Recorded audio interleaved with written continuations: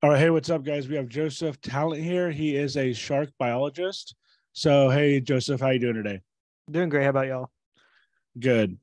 So, yeah, first of all, can you just tell us a little bit about yourself? We we just met today or yesterday, so I know Yeah, very little about you. Yeah, we just we just luckily we you know we, we were able to do it right away, which I like. So, Yeah. oh yeah, So, uh, you know, I got my undergrad in marine biology. While I was working on my undergrad, uh, I had the opportunity to start tagging sharks off the beach side with uh, NOAA's cooperative shark tagging permit. Um, they gave us dart tags, which are just you know small little numerical uh, plastic tags that we can put in the sharks, and the goes right behind the dorsal fin, and you know it just gives us an opportunity if that shark is recaptured another angler can put that into the database and we can understand you know where that shark traveled to how much it grew within that given period of time. Um, i did that for about four years undergrad. I continued to do that for about two years with a government agency. And then with the government agency you know we were tagging them off of boats and we were comparing that data with uh, sea turtles that we were also tagging. So when i started working with the government agencies we were putting GPS, um, acoustic tags, and all those uh, types of tags on sharks that were primarily uh, predators for sea turtles. So we were trying to understand, you know, a sea turtle prey predator relationship for that uh, project. okay, cool. Yeah, I don't I don't know too much about. Actually, I don't even know if I knew what shark. I mean, I think I I feel like I've heard of a shark biologist before, but I don't know if I even knew that there was shark biologists. Um, so yeah, I don't know too much, but um, however, I do fly drones, and my goal in life would probably be to capture a shark on a drone because those videos tend to go viral. And then um, I also used to be like a surfer, so you know, I'm aware of I'm aware of sharks. You kind of have to be, you know, you have to be aware of your surroundings when you're out there. Definitely. I mean, the biggest thing is uh you know, there's definitely a big push right now with like, oh, sharks are our best friends, sharks are this. No, they're they're still apex predators. We still have to respect them, you know. The the sharks are put on this planet to be the top of the food chain. You have to respect that shark. You have to know what you're dealing with when you get in the water. You know, that there's a big push where you know, yes, we need to protect shark populations. Yes, they're critical to the environment, but we still need to be aware of what a shark is. You know, I'm not going to jump into the ocean give a big bear hug to the next tiger shark I see swimming across from me. Um, Yeah, it's yeah. It's kind of like an even balance with animals, right? Because a lot of people just want to save all the animals, but then you have the Joe Rogan types who want to kill them, and and they they make you know they make good points. Who are like when they say stuff like, if we don't kill certain animals, like they will kill us. I don't know if well, I don't know if that's necessarily true, but like with certain animals, if you don't kill them, like they'll they'll just be too much of them, and like you won't be right. I don't know if that's that's Yeah. probably not the case with sharks, but Well, I actually ran into so apart from sharks, I also work with the sea turtles, primary loggerhead sea turtles. So I was working one day in the middle of the bay, and we had about three loggerhead sea turtles on our boat. And you know, we have a big, you know, twenty foot research boat, says research on the side, and this charter fisherman comes up, speeding up next to us. He's like, "You need to just get rid of those sea turtles. You know, they're catching them and." they're eating all the seagrass and we can't catch any fish anymore because the sea turtles that you're researching uh are eating all the seagrass. You know, in that moment I want to be like, well, maybe you just need to be a better fisherman. But you know, you can't say that to them. It's just gonna piss them off more and you know, they're gonna be more against what you're doing as a job. Um yeah, I definitely run into that a lot where like the species I work with people want to get rid of. Um it's just part of science nowadays. Yeah, and like, like also it's like you kind of I could see like maybe being fine with killing sharks, but like killing sea turtles seems kind of like mean, right? I mean, it's like sea. I mean, I guess he had an issue with them, but like you know, sea Yeah. turtles seem like so nice and like just Yeah. sweet or whatever. You don't want to.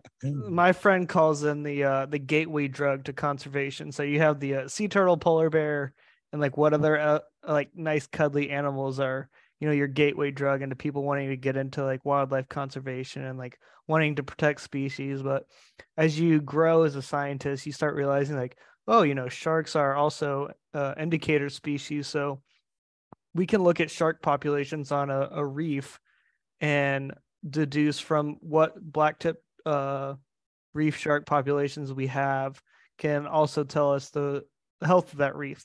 So if there's not enough bait fish for the sharks to eat off of, they're going to die off naturally. So it gives us a good way to look as scientists at certain reef populations. So yeah, as a fisherman, I, I I'm an avid fisherman. I go out in the Gulf of Mexico, go fish. I go out in my backyard and fish as much as I can. I fish anytime that I'm not, you know, actively working. I try and go fish. Yeah, it's annoying when I catch a snapper and a little black tip reef shark eats my catch, but you know, it, that is just you know a reality of fishing nowadays.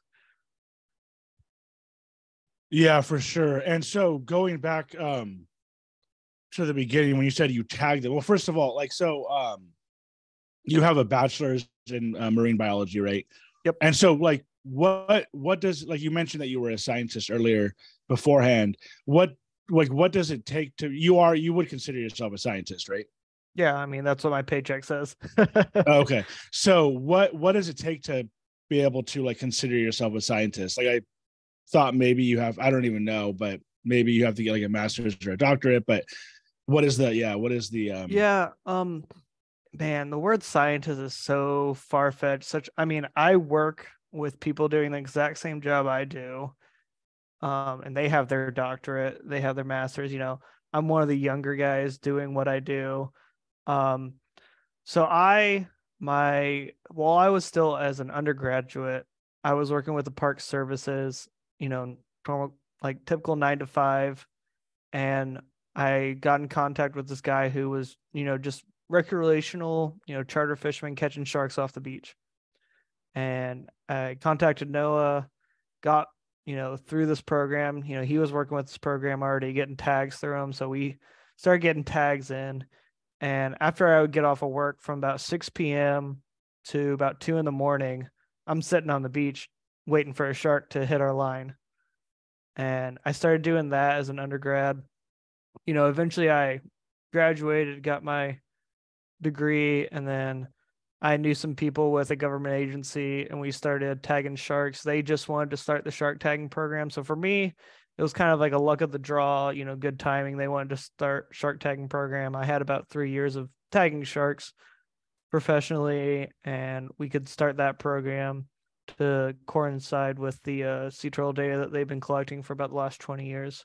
So, you know, the word scientist can apply to anyone. You know, we were big on citizen science projects. So we had guys that were just driving down the road and you'd see a box turtle on the side of the road and they would jump out of their car, grab it, and call us up, and we'd go out and give them little tags and they would tag little box turtles. So, you know, realistically, anyone can be a scientist. You don't have to go to college to be a scientist. If you want to do it professionally and get paid for it, obviously, just like with any other thing, got to go to college, got to get the education, got to get your time in. But the word scientist is pretty broad nowadays. I think a lot of citizen science projects are kind of making science more transparent, more accessible. Yeah, and then as far as the the tagging goes, so that's the pretty much sounds like the majority of your job is tagging these these sharks. And um yeah. So what do you use? Like, how hard is that process? What are you using to tag them? Um, you know, um, and then also where where are you located? If you don't, you don't have to say like the exact city, but like Gulf um, of Mexico. Okay, so kind of like southeast. Okay, okay. Um, North Florida, Gulf of Mexico. Okay, and um, yeah. So when you're yeah, so what are you what are you using to tagging for tagging them, and how hard is tagging them? Uh, you know, I would imagine it would be pretty difficult, right?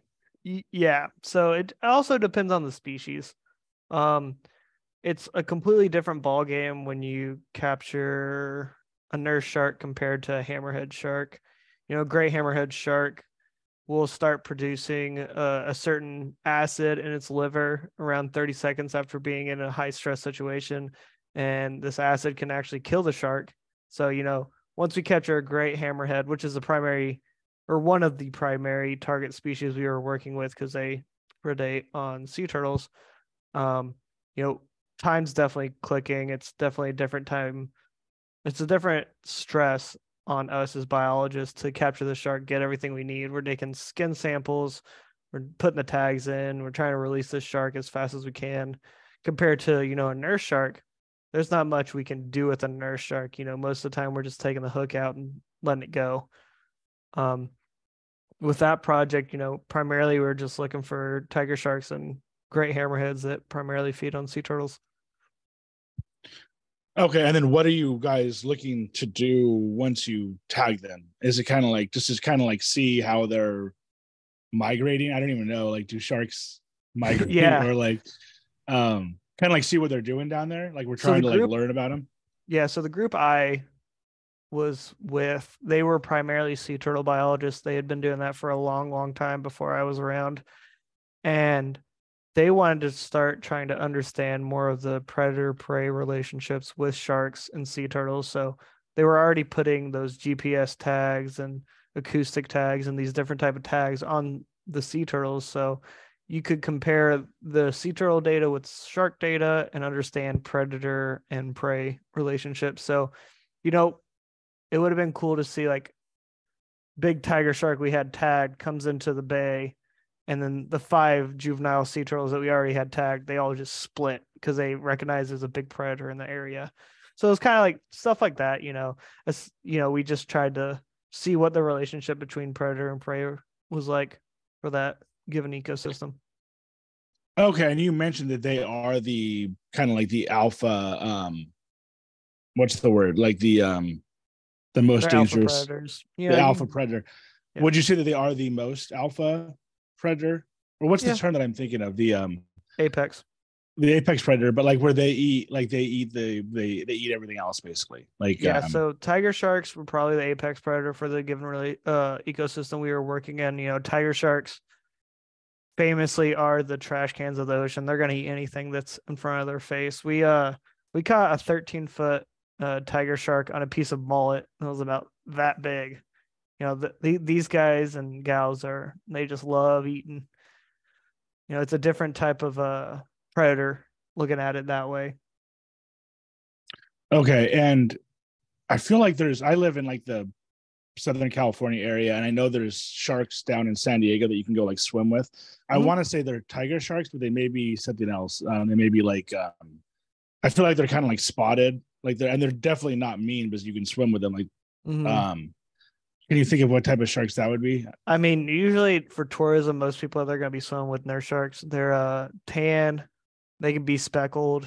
Um, they don't have a dorsal fin. They're just kind of the flat, you know, tan sharks that sit on the bottom.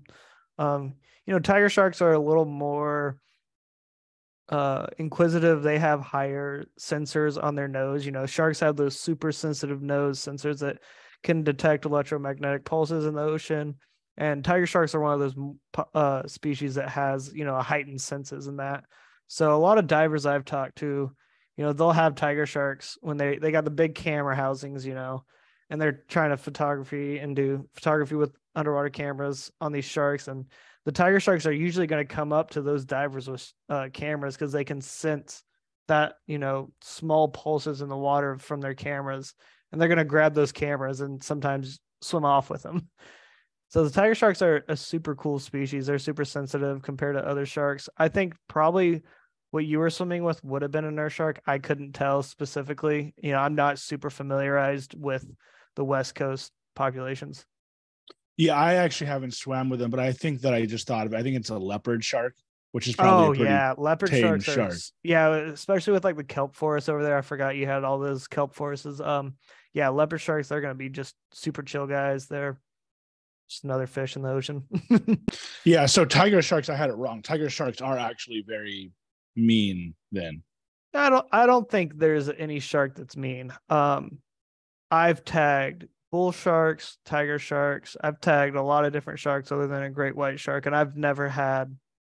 You know, you can see I have all my fingers. I've had my ha- my uh my hand all the way in a shark's mouth. I'm never been bit, never been attacked or anything, you know. That you just have to respect them in a certain way. Just like with any wildlife, you know. I'm not gonna Really? Yeah, I'm not gonna just swim up to a seal and give it a bear hug. Yeah, that seal can bite my hand off just as quick as a shark can. I would. I don't know. I would assume that, uh, especially certain sharks, will just come after anything and everything. No, right? No, no. Um, because I know a guy on Instagram. His name's like Mike. You were just saying how people will take pictures of him.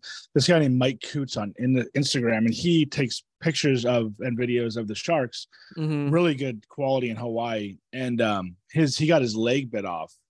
Oh, I love that guy. That guy is you know what I'm talking about? interesting. Yeah, so yeah. it's really cool. Like I was talking about with the uh tiger sharks being super sensitive. There's a couple pictures he has because he was initially attacked by a tiger shark as a kid. I think he was attacked like at 13 years old as a surfer. And he has the prosthetic leg now. He has a crazy picture of him sitting on the ocean floor and the tiger shark bit his prosthetic and swam off with it. It's it's that metal in the water is what they're sensing. And that's why they're more, you know, actively trying to go for that because it's a different sensory compared to humans. But yeah, yeah the Mike so he, guy is super interesting. Well, yeah, and his his pictures and videos are just absolutely insane. But he comes off like he loves the animals, the sharks, so much that even though they bit his leg off, and I guess did it again with the mechanical one, he still will go out there and he still doesn't hate them or anything. Like he yeah. he still loves them, and I think it almost seems like he would even like die for them. He would die just taking pictures of them. If, you know, if one killed him, he's he's willing to go that far for I guess it's mainly just for photography, right? I don't think he's really doing anything else. Yeah, I think you know, as as a photographer, he also recognizes the uh, conservation impact that he has with these photos he's taking. It kind of humanizes the sharks, makes people realize that oh, if this guy can get attacked by a shark and still swim with him, you know, maybe it's not too scary to go in the ocean and swim. Yeah. So speak speaking of which, being a surfer, and if I ever go back, I'll be a bodyboarder at this point, I think, but because um, I moved inland like an hour and a half, so I, am not able to get to the beach as much. Now, when I go, I actually do take pictures and videos when I go to the beach. I still love it, but um, yeah.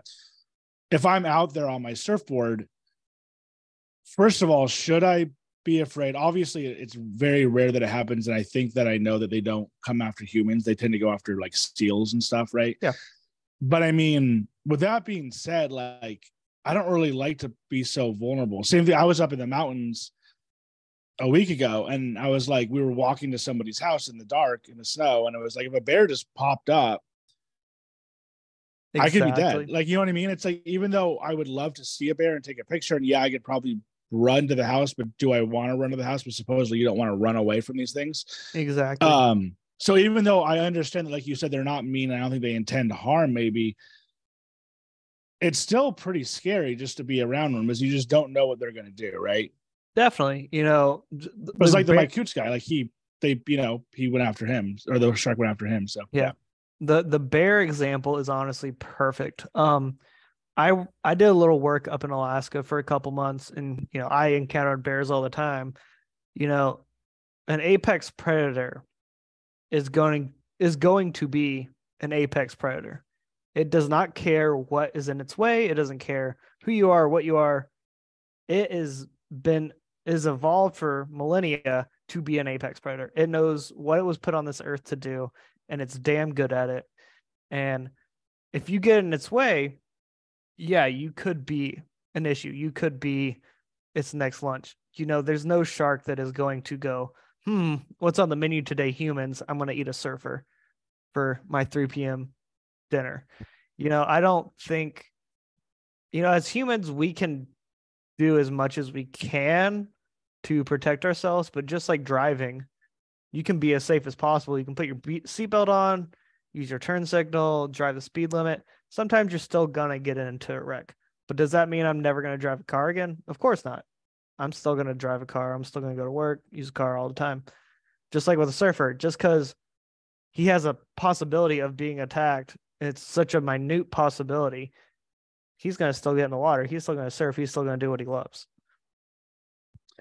Yeah, that's true. But I kind of feel like, and don't get me wrong. Like I said, if I, I still want to get out there on my, on my bodyboard, but um, at the same time, I still am like with a car, like you kind of have to drive your car, even though I could get into a car wreck and mm-hmm. die or whatever.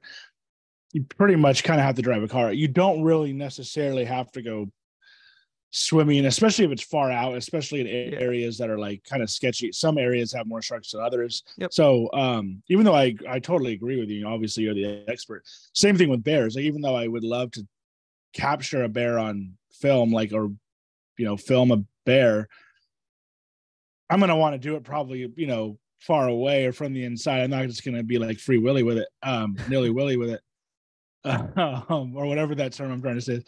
Um, so yeah, so um, but yeah, I totally see what you're saying, and don't get me wrong, you're right. If I was still surfing, I would still be out there, but but basically you're saying that like yeah you, you shouldn't be scared of them and is there i mean is there any advice maybe like i mean what if it's like um like if you hear that there are great whites out there, maybe not go out. Yeah. For the week or something. Yeah. Like... So I mean, I was a surfer in my area. You know, Florida, we don't have the great white sharks. You know, I'm re- I'm reading my surf reports. I'm talking to my friends who are going out surfing. If they see something, you know, maybe it's not worth surfing that morning, no matter how great the waves are breaking or whatever the surf report is. You know, look at your surf reports. A lot of surf reports are going to have your sightings, especially in the areas that have your bigger predatory species like your great whites, your tiger sharks, and everything. Um, you just be smart with it, just like hiking. You know, you can go hiking on certain trails that you know are more bear country, or you can go to a different trail that isn't as much of a, a bear country or has the bear population like you see. I just got to be smart with it, just like with anything else you do as a hobby. Kind of just yeah, obvious yeah obvious um common sense yeah. Um, so with the sharks and and also with the bears, if you do, I don't know how much you know about other animals like bears and stuff like that, but um, if you do encounter a shark, what is the best thing for you to do if you're on a surfboard or swimming or whatever? Obviously, go in. But let's say you're like in a situation where you can't get in for whatever reason. I, I like to just kind of like lay on my longboard. Like I don't even like to have my legs like dangling, but some shortboarders can't really do that. Yeah.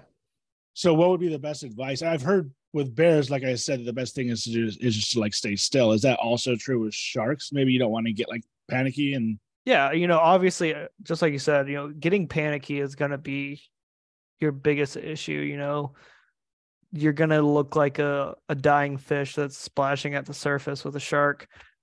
If you're just on your board, your short board and just splashing around, you know, honestly, if you're in the situation where you feel like you can't put your legs in the water, I don't think you should be surfing that day.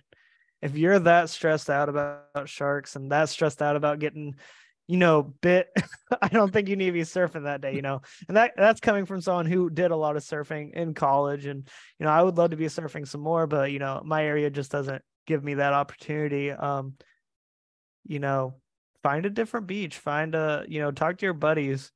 If you're that worried about it, start surfing as a group is is horrible as that sounds you know you're going to get ran over you know going for swells and everything but start fishing or fishing start surfing as a group um power in numbers just like with anything in the wildlife. Yeah i totally i actually totally agree with you with the power of numbers and it's kind of like a somewhat for a sad reason but but if you think if you have 10 guys out there and the shark pulls up you're at least like well maybe i won't you know, I'm not the only one. like, yeah, no, the, the statistical opportunity has gone way up for you to not get bit. yeah, same thing. If I mean, same thing if there's just other guys. It's always kind of eerie surfing by yourself. I've, I don't know if I've ever really fully done it completely solo, but if you're just mm-hmm. out there by, especially in the morning when it's like, yeah, it's... or at night, like before it's or after sunset or before sunrise, it, it can get yeah. sketchy out there. Yeah, I definitely had never surfed alone. I, you know, where I went to college, it was a big surf community. So, you know, right at sunrise, you had plenty of guys out in the water, and I wasn't ever really worried about sharks, even though, you know, I would go surfing in the morning, go back to class, and on the weekends, me and my buddy, I was helping him with a uh, a macroalgae survey, and we were going out to the artificial reefs with uh, scuba gear, and we were uh, surveying the macroalgae for sea turtle populations, how they were eating on the reefs and everything. And I mean, we'd see tiger sharks, we'd see sharks and everything swimming around the reefs. Uh, I remember me and my buddy, we were on the reef, and it's just three concrete pilings stacked up from the ocean bottom. and we had probably like 300 bait fish just balling around us. They're just swarming, swarming, swarming, and then out of nowhere they just scatter, and you just hear the ocean get just real quiet. Because when you're just surrounded by bait fish, they're they're constantly chomping. That you can always just hear them, and they're super loud. And they just scatter, and get super quiet, and then you just started seeing that, you know, it's like an eight and a half foot little tiger shark just swimming around all the reefs. And it just got super quiet. But you know, I'm not worried. They're not going to just like come up and eat me whole. you know, th- these guys are just chilling out in their home, chilling out where they live and everything. But yeah, you know, there is the power in numbers. There is a reason like I would never go hike alone when I'm in bear country. I would never go surf alone if I knew there's shark sharks around, you know. I just think it's kind of common sense or, you know, do what you can do to prioritize yourself. Yeah, and this was in. Did you go to school in Florida? Yeah.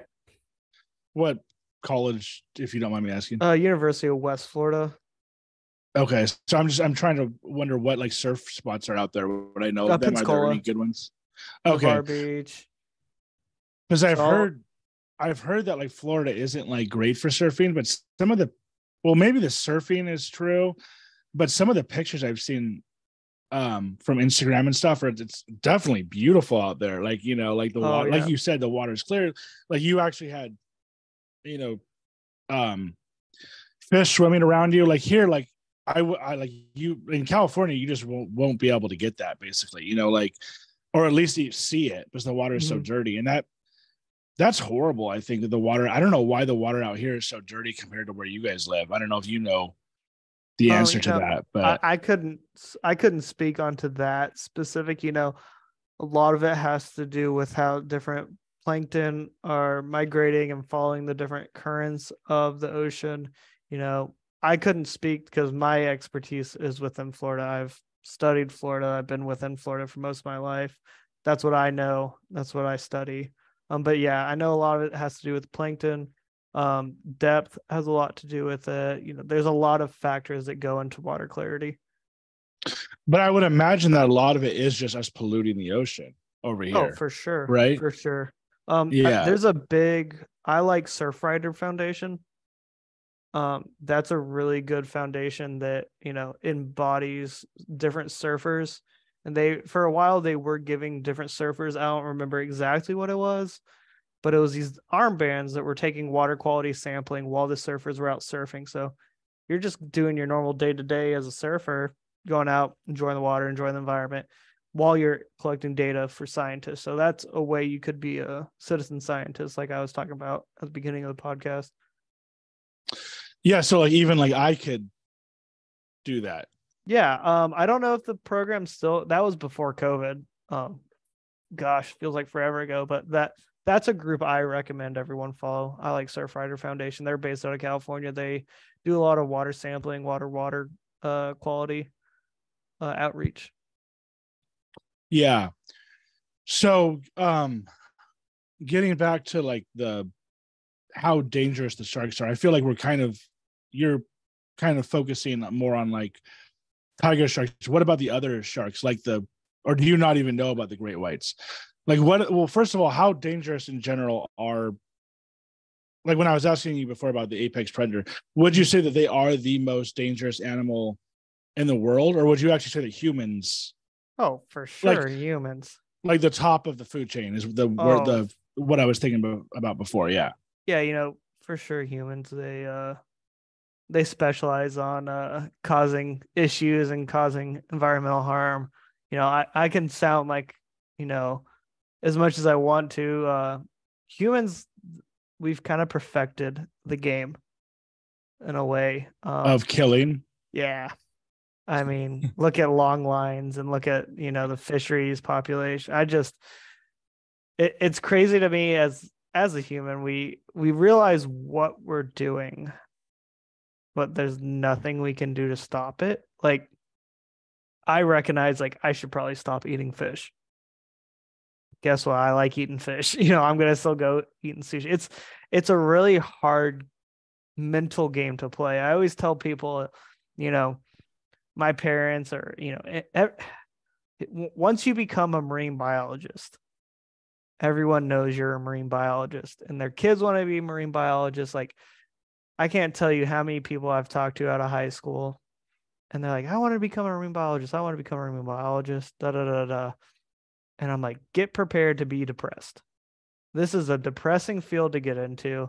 It's a lot of like we should be doing this we should be doing that to fix the population to fix the environmental problems we have you know just to speak onto one thing, you know, we're we're about to start doing a deep sea mining, and that's going to wreak havoc on the abyssal plain and the abyss populations that we know nothing about, honestly, as scientists. You know, we find on average three and a half dives, we find a new species of fish when we go into the abyss.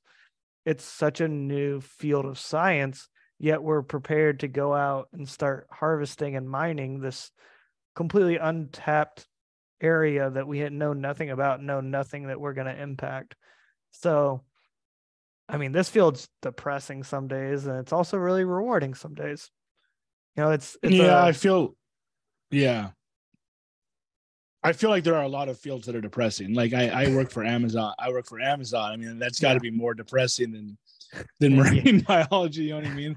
Yeah. Like I'm i mean, sure like the, the way that I look at, and I want, yeah, I, I totally want to get into the conservation and then also maybe global warming type stuff. I don't know how much you know about that.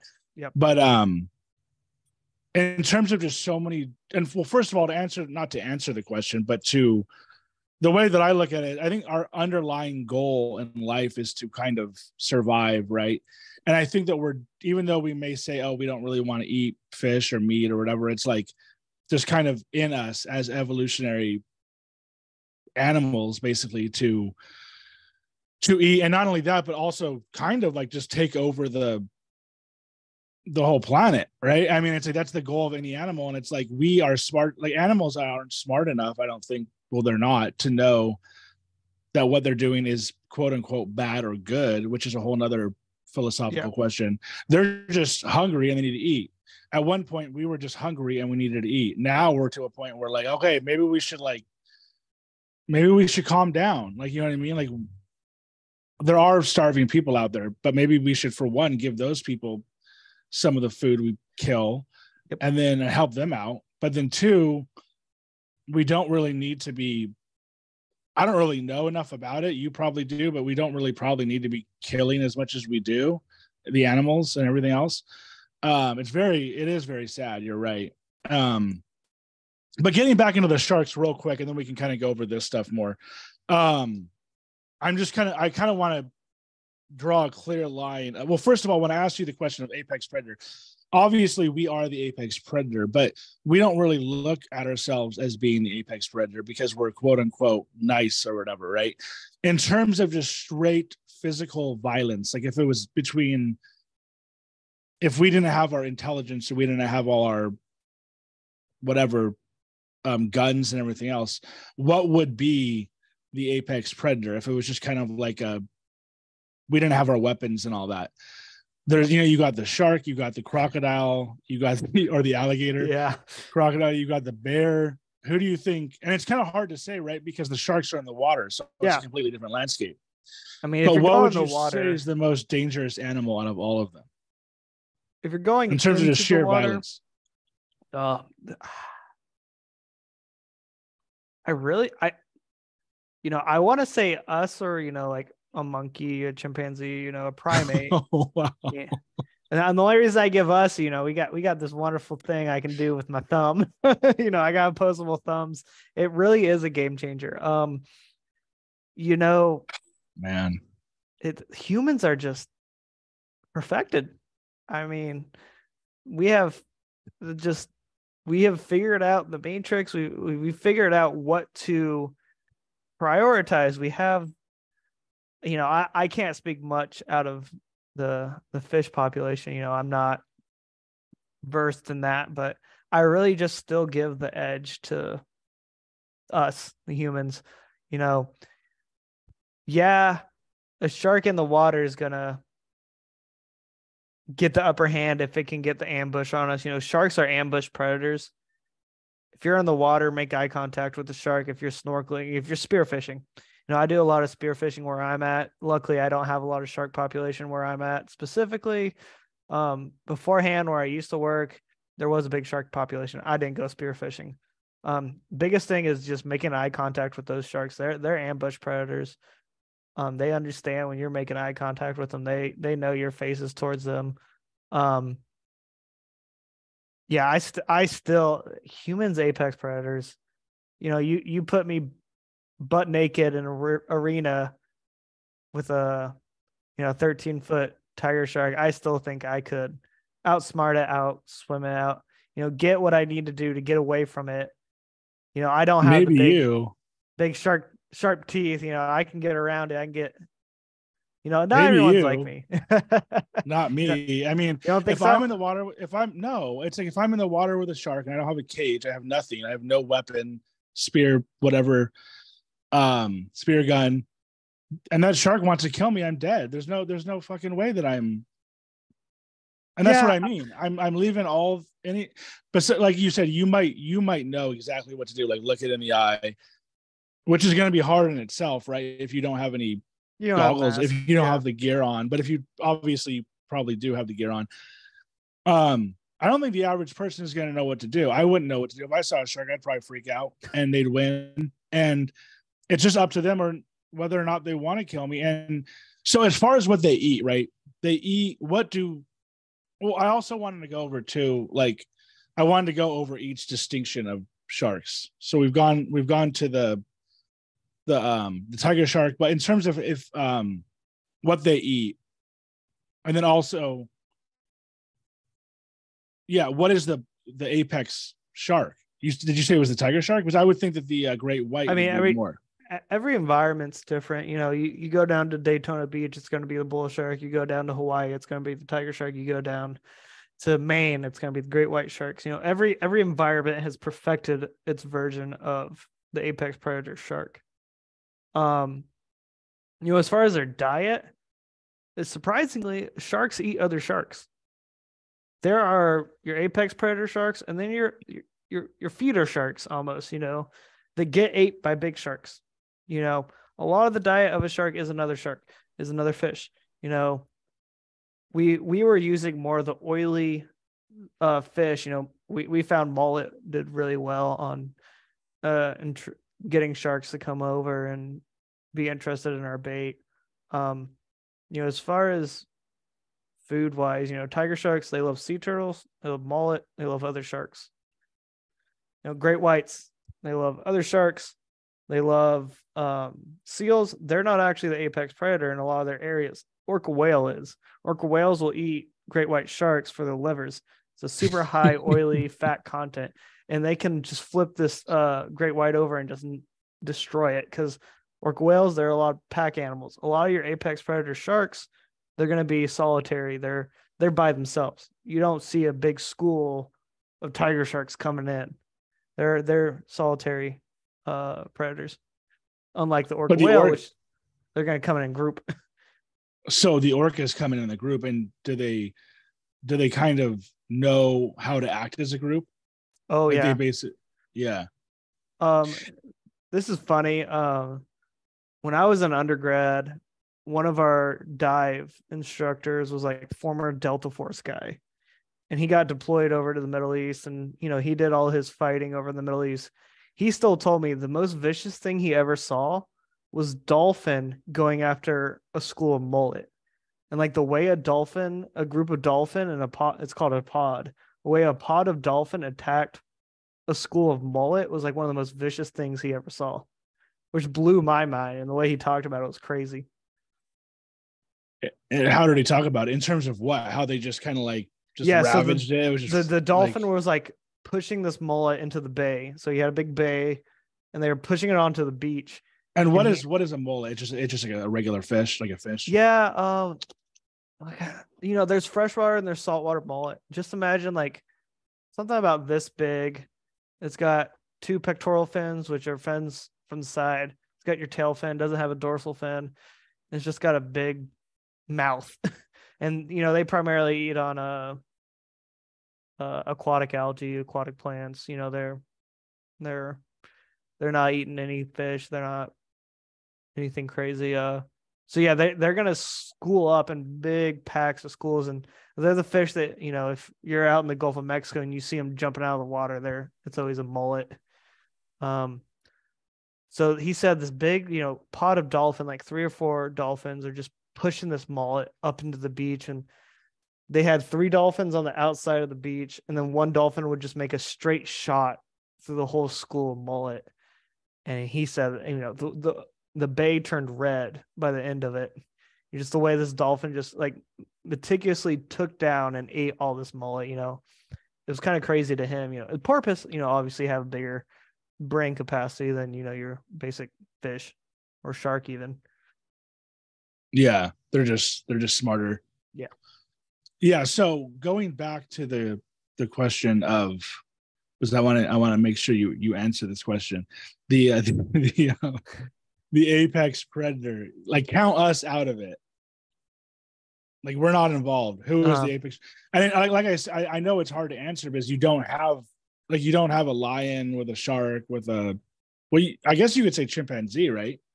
Yeah, but it's hard. You know, every you know each environment has its own restrictions, has its own you know different set of circumstances that an animal is going to do microevolutions to evolve to to be the best. Um it's hard to generalize.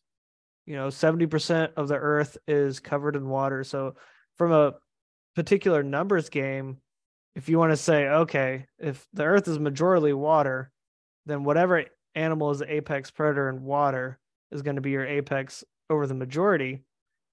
You know if i threw a monkey into the ocean. And it's not going to know how to swim. It's not going to swim well. It's going to splash around and get devoured. Um, but you know, at the same time, a tiger shark versus a great great white shark, you know, that that's really different ecosystems. It's different set of parameters that you can't really compare. Um, so you can't really give an answer.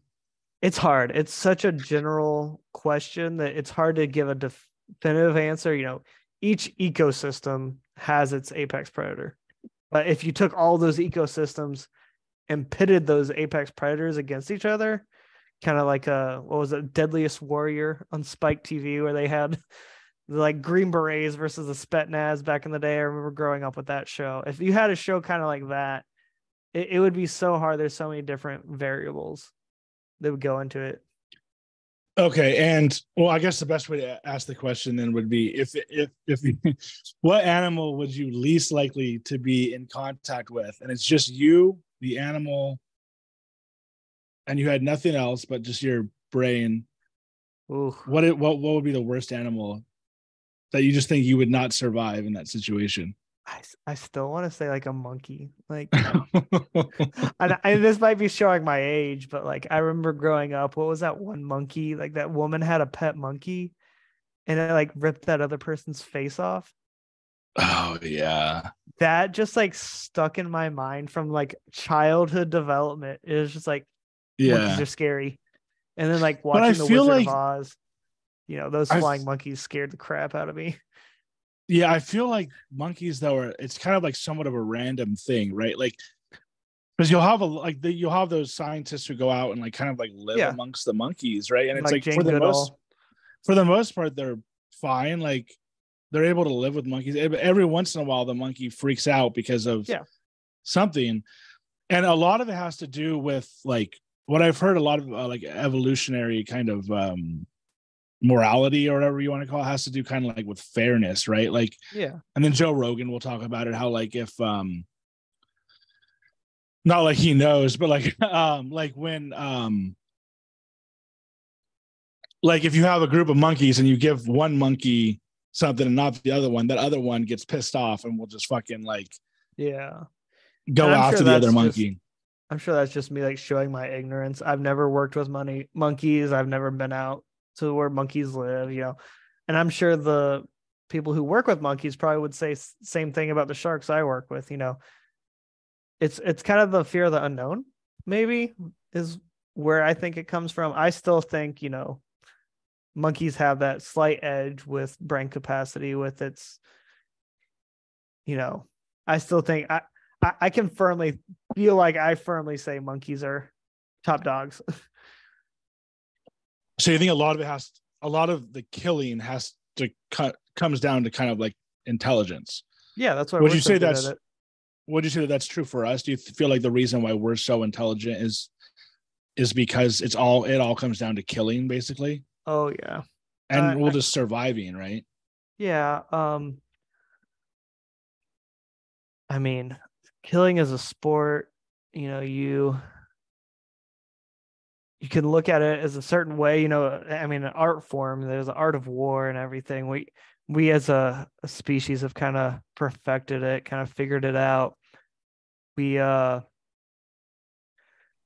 I I definitely think an intelligence has to come into it. I think, you know, you have to be crafty, you have to be clever to outsmart different uh, animals. I just think it, it it also just depends on the environment, you know. The monkey's not going to know how to swim in a pelagic ocean, deep water. Yeah. You know, if you if you throw a monkey in the ocean, the shark's going to win. But you throw a shark in the jungle, the monkey's going to win. You know, each of these animals have developed for certain environments. And at one point, we supposedly were all in the water, right? According yep. to evolution. Yeah. Yep. And do you believe that we got out of the water basically to survive? Like at some point, our ancient ancestors realized, okay, we got to get out of this water onto land if we're gonna make it. Yeah, um, you know that's obviously a completely different field of study from me, but like scientific evidence kind of points towards that. You know, like I said, that's just completely different field of study from what I know and what I'm familiar with.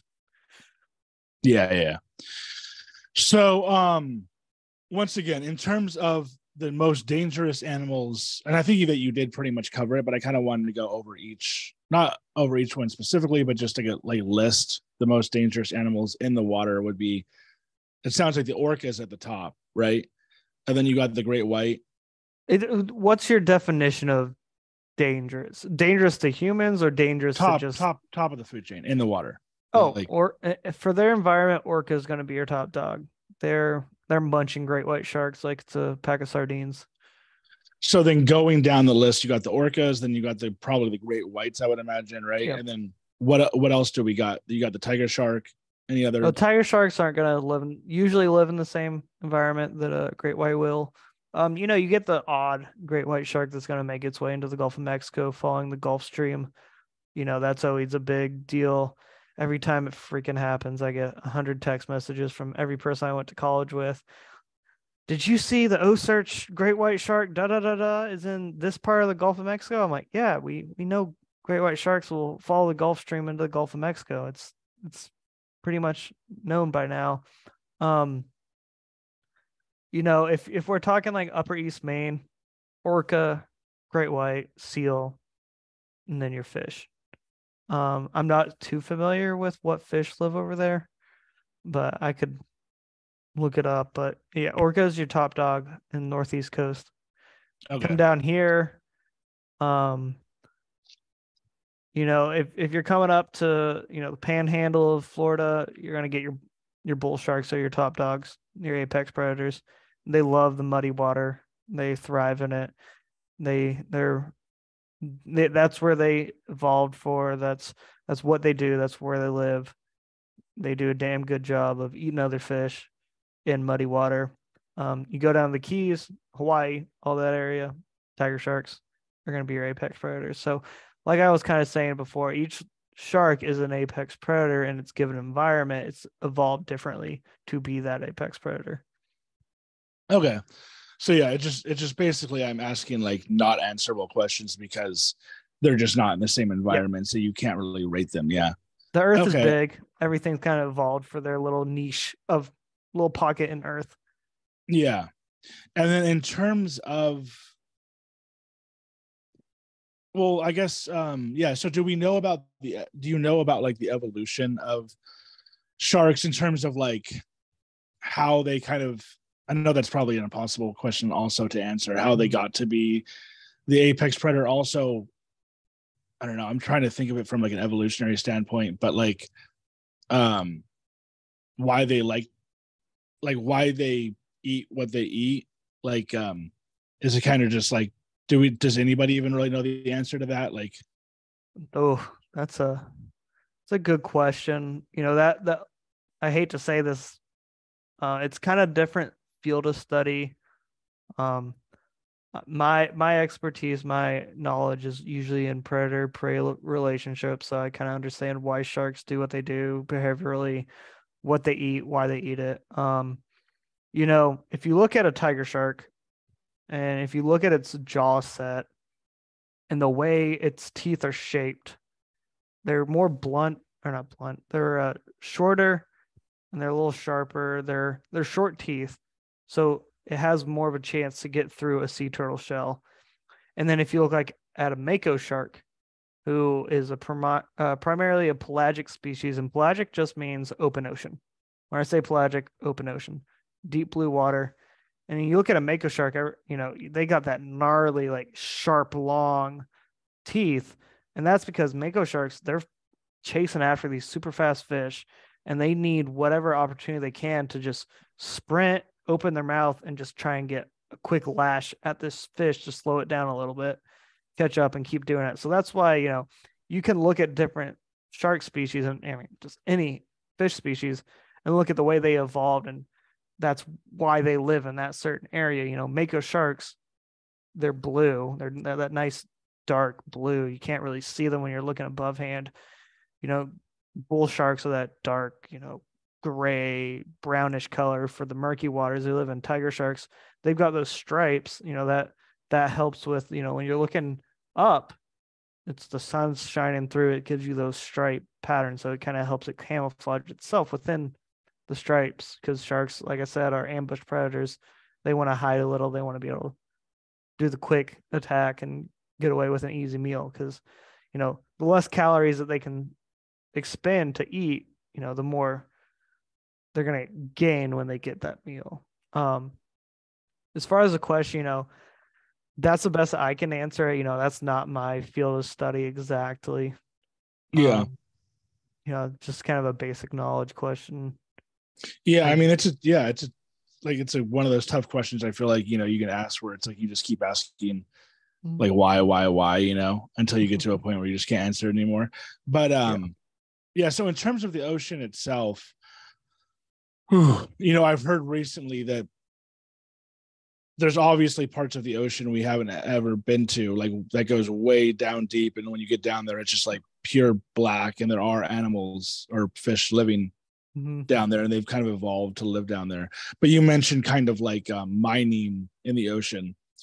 Uh, well, first of all, have we really have we have we like we want to go out and explore space, but ha- we haven't really even fully explored the ocean, right? There are parts of the oceans we haven't even been to. Do you think we'll ever get to a point where we'll be able to kind of like go way down to these areas we haven't been to? Yeah, you know, it's you always have to do you know as a business, you always have to look at it like cost benefit analysis.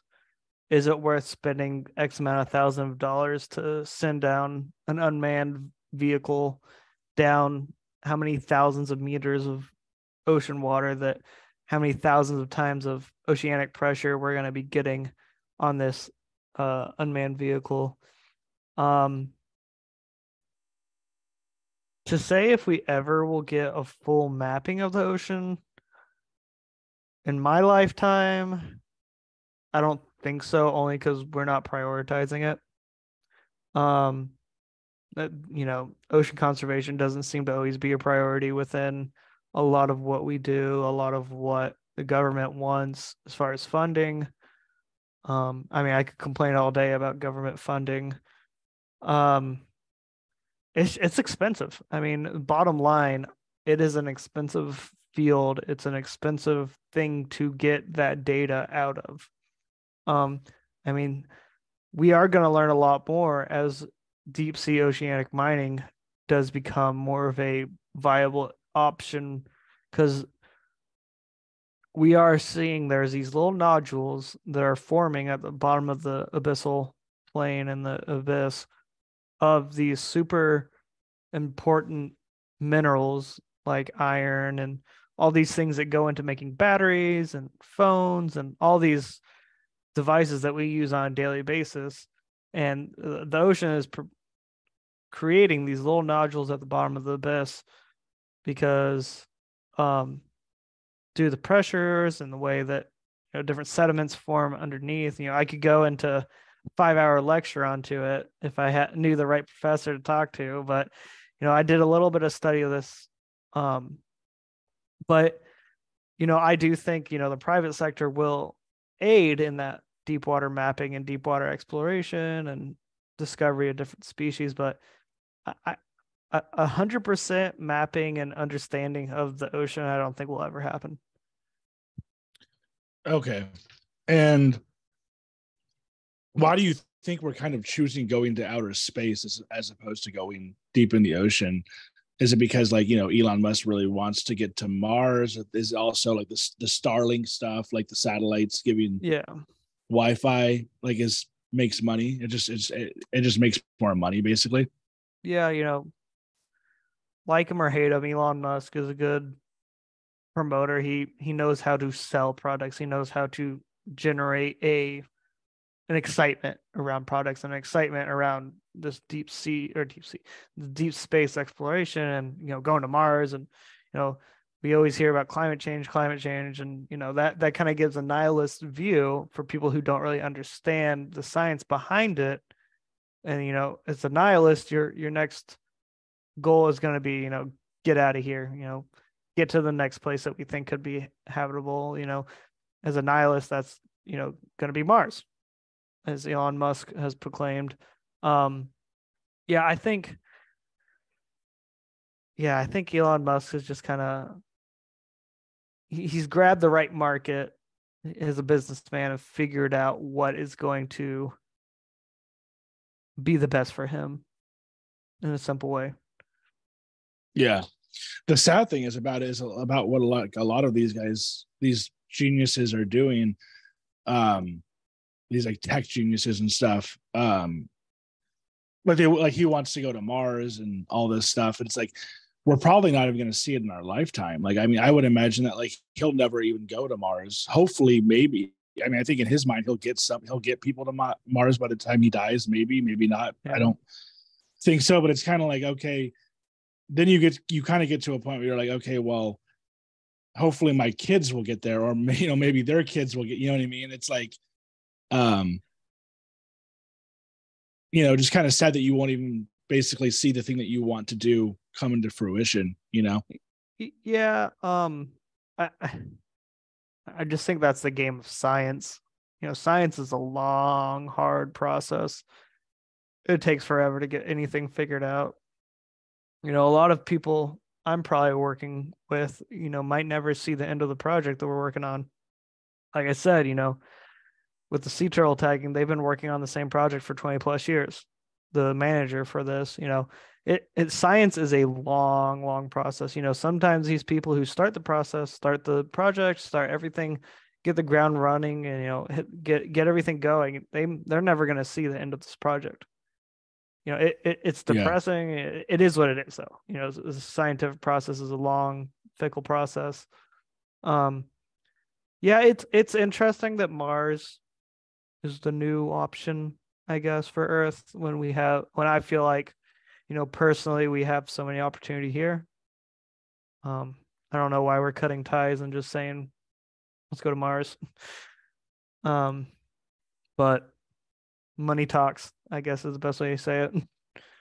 And also, like you said, I mean, it, it may make sense in in terms of the the real long term being thousands of years. You know, I think the ideal goal would be to like be living you know intergalactically or, or whatever. Like i've even heard sam altman do you know who sam altman is? Like the, the guy who created a, like chat gpt well he owns the company openai. Okay. you know chat gpt right? Yeah yeah. Yeah so he, he i've heard him talking and that's like he want he also wants to do that. He's he also wants to do that but it's like like i said it probably won't be in our lifetime.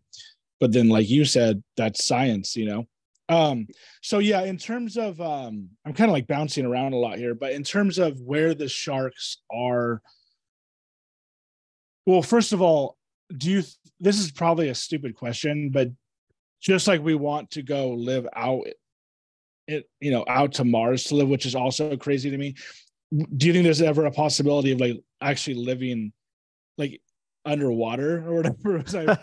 Because I've heard I've heard um you know there are they they do have like underwater hotels and stuff like that, right? Yeah. I mean, what I mean, because it's like the reason I asked the question is because Mars seems just as hard to to do as does living underwater, but I kind of feel like the living underwater thing would would just be too complicated, right? Yeah, I mean, I, I always uh I couldn't tell you my exact numbers now, but I always like to keep a running number of how many hours I've spent underwater in my lifetime. And it's yeah. like well, it's well over a thousand at this point, just you know, with work and pleasure and all that crap. Um, it's a brutal place. And just like outer space, you know, th- there there is a reason that you know the U.S. trains its astronauts on how to deal with the deep space underwater. We have these giant, enormous pools at NASA bases that have these mock uh, USS space stations, and they train the divers or tra- divers train the astronauts how to you know deal with zero gravity situations. You know, it, it but you know if if climate change is the issue and climate change is why we want to go to Mars, you know, why are we going to want to live in a boiling soup of an ocean that's not going to produce fish? It's not going to produce the habitat we need. It's not going to produce what we want as a species. Whereas we could go to Mars, it's not, you know, impacted by human involvement. So I, I guess I see that that if that's the train of thought, which I couldn't tell you, because that's a, a billion miles away from what I deal with as you know, a little shark biologist in my little part of the world. You know, that maybe that's why they want to go to Mars if it's if it's cl- if climate change is the big driving force of wanting to go to Mars, that's you know why they would want to go to Mars rather than living underneath the ocean. Yeah. And also I think yeah, I think that living under the ocean just isn't sustainable at all. No. But um so yeah, going back to you. So in turn and then we'll get to the global warming and then so where would you say that the the highest kind of like density of sharks are like if i want to go out and take pictures of sharks or videos of sharks where would that be then also i think you already answered the question i was going to ask you but like you actually do go under the water with the sharks right i'm assuming you're in a cage when you do do this right no no no i mean so are, are tiger sharks just not as are they the sharks that you got you have there in the the gulf of mexico are they just not as dangerous as the great whites you know, we, we we talk a lot about, you know, you're you're labeling certain animals as dangerous, you know. Yeah, yeah, I keep going back to that. Sorry. But my point is is that I don't think that the reason I asked the question is because I'm I'm kind of like living in a world in California where it's like you get the I don't think they're gonna send yeah, I don't think they're gonna send somebody like you out with a shark without a cage just because it's great whites. Yeah. But with you, it sounds like you're living in a kind of like more of a world where it's like, you know, the the um, tiger sharks just aren't as scary as some of the sharks we have here. Yeah, um, like I said, that's a total different environment that I can't talk too much about. If you want to talk yeah. more about like Florida sharks, you know, if you want to see sharks uncaged, you know, and their beauty and their peaceful, I mean, sharks are so freaking beautiful. If you can go out on a dive trip and see a shark, you know, not chummed, you know, a lot of times these the dive operations are gonna chum the water to get sharks to come in. You know, that's just like ringing the dinner buffet. You know, they're they're gonna be riled up. They're gonna be a little more aggressive. You know, if you can get a good dive operation that's not gonna chum the water, that's not gonna do these things. You know, if you can just get a dive operation that says, hey, you know, sharks tend to be around this reef or sharks tend to be around this area. Let's go out and swim and see where they are. You know, I've gone to Jupiter and gone diving with sharks and man, it's it's a whole different world when you know I'm just diving with a shark compared to when I'm tagging a shark. You know, they're they're they're gonna be a little more violent when you're tagging them because you got a freaking hook in their mouth. They're trying to get that out. They're you know they know they're being harassed. Um, you know, I used to tell people when they when they ask, well, you know, what do you do for a job? I go, well, I'm a professional shark stabber. You know, I do all this, this, this, this. Um, you know, I I don't think sharks are inherently dangerous. Just like, you know, you just have to have a respect for them. Am I gonna go swim up yeah. to the I next tiger shark? to- yeah, I didn't mean to ask that to ask that question again. I was just more asking. I got on that again, but um, I understand. Like, yeah, yeah, yeah. Um, Yeah. what you're saying. You know what I mean? I mean, if you want to keep going, you can. I just didn't want to like make you think that I kept. I'm keep asking the same question about how No, you're right, dangerous they right. are. Okay, okay. Um, as far as tourism, I recommend Jupiter, Florida. You know, great shark diving, great area. Um, you know, that's on the east coast of Florida. You know, Gulf Mexico. There's not really, there's not any areas that are like, oh, you can go with this dive charter and get a shark dive And Um, um, I mean, it's just the luck of the draw, just like with any wildlife viewing. You know, I could hire you to be my bear tour guide, and you you see bears ninety five percent of the time on this trail that we're gonna walk, and then one time we walk it, there's no bears. Um, as far as you know, that that's what I would recommend. If you really want to see a shark uncaged, I would go to Jupiter, Florida. I like it there. It's a cool area. And what kind of shark will you see there? I think you already said, but you know, so Jupiter, Florida is going to be more open ocean. Um, you know, you got your lemon sharks, which out of all the sharks I've tagged in my life, the lemon shark is the one that has got close to biting me. I can tell that story later. Um, you got lemon sharks, black tips.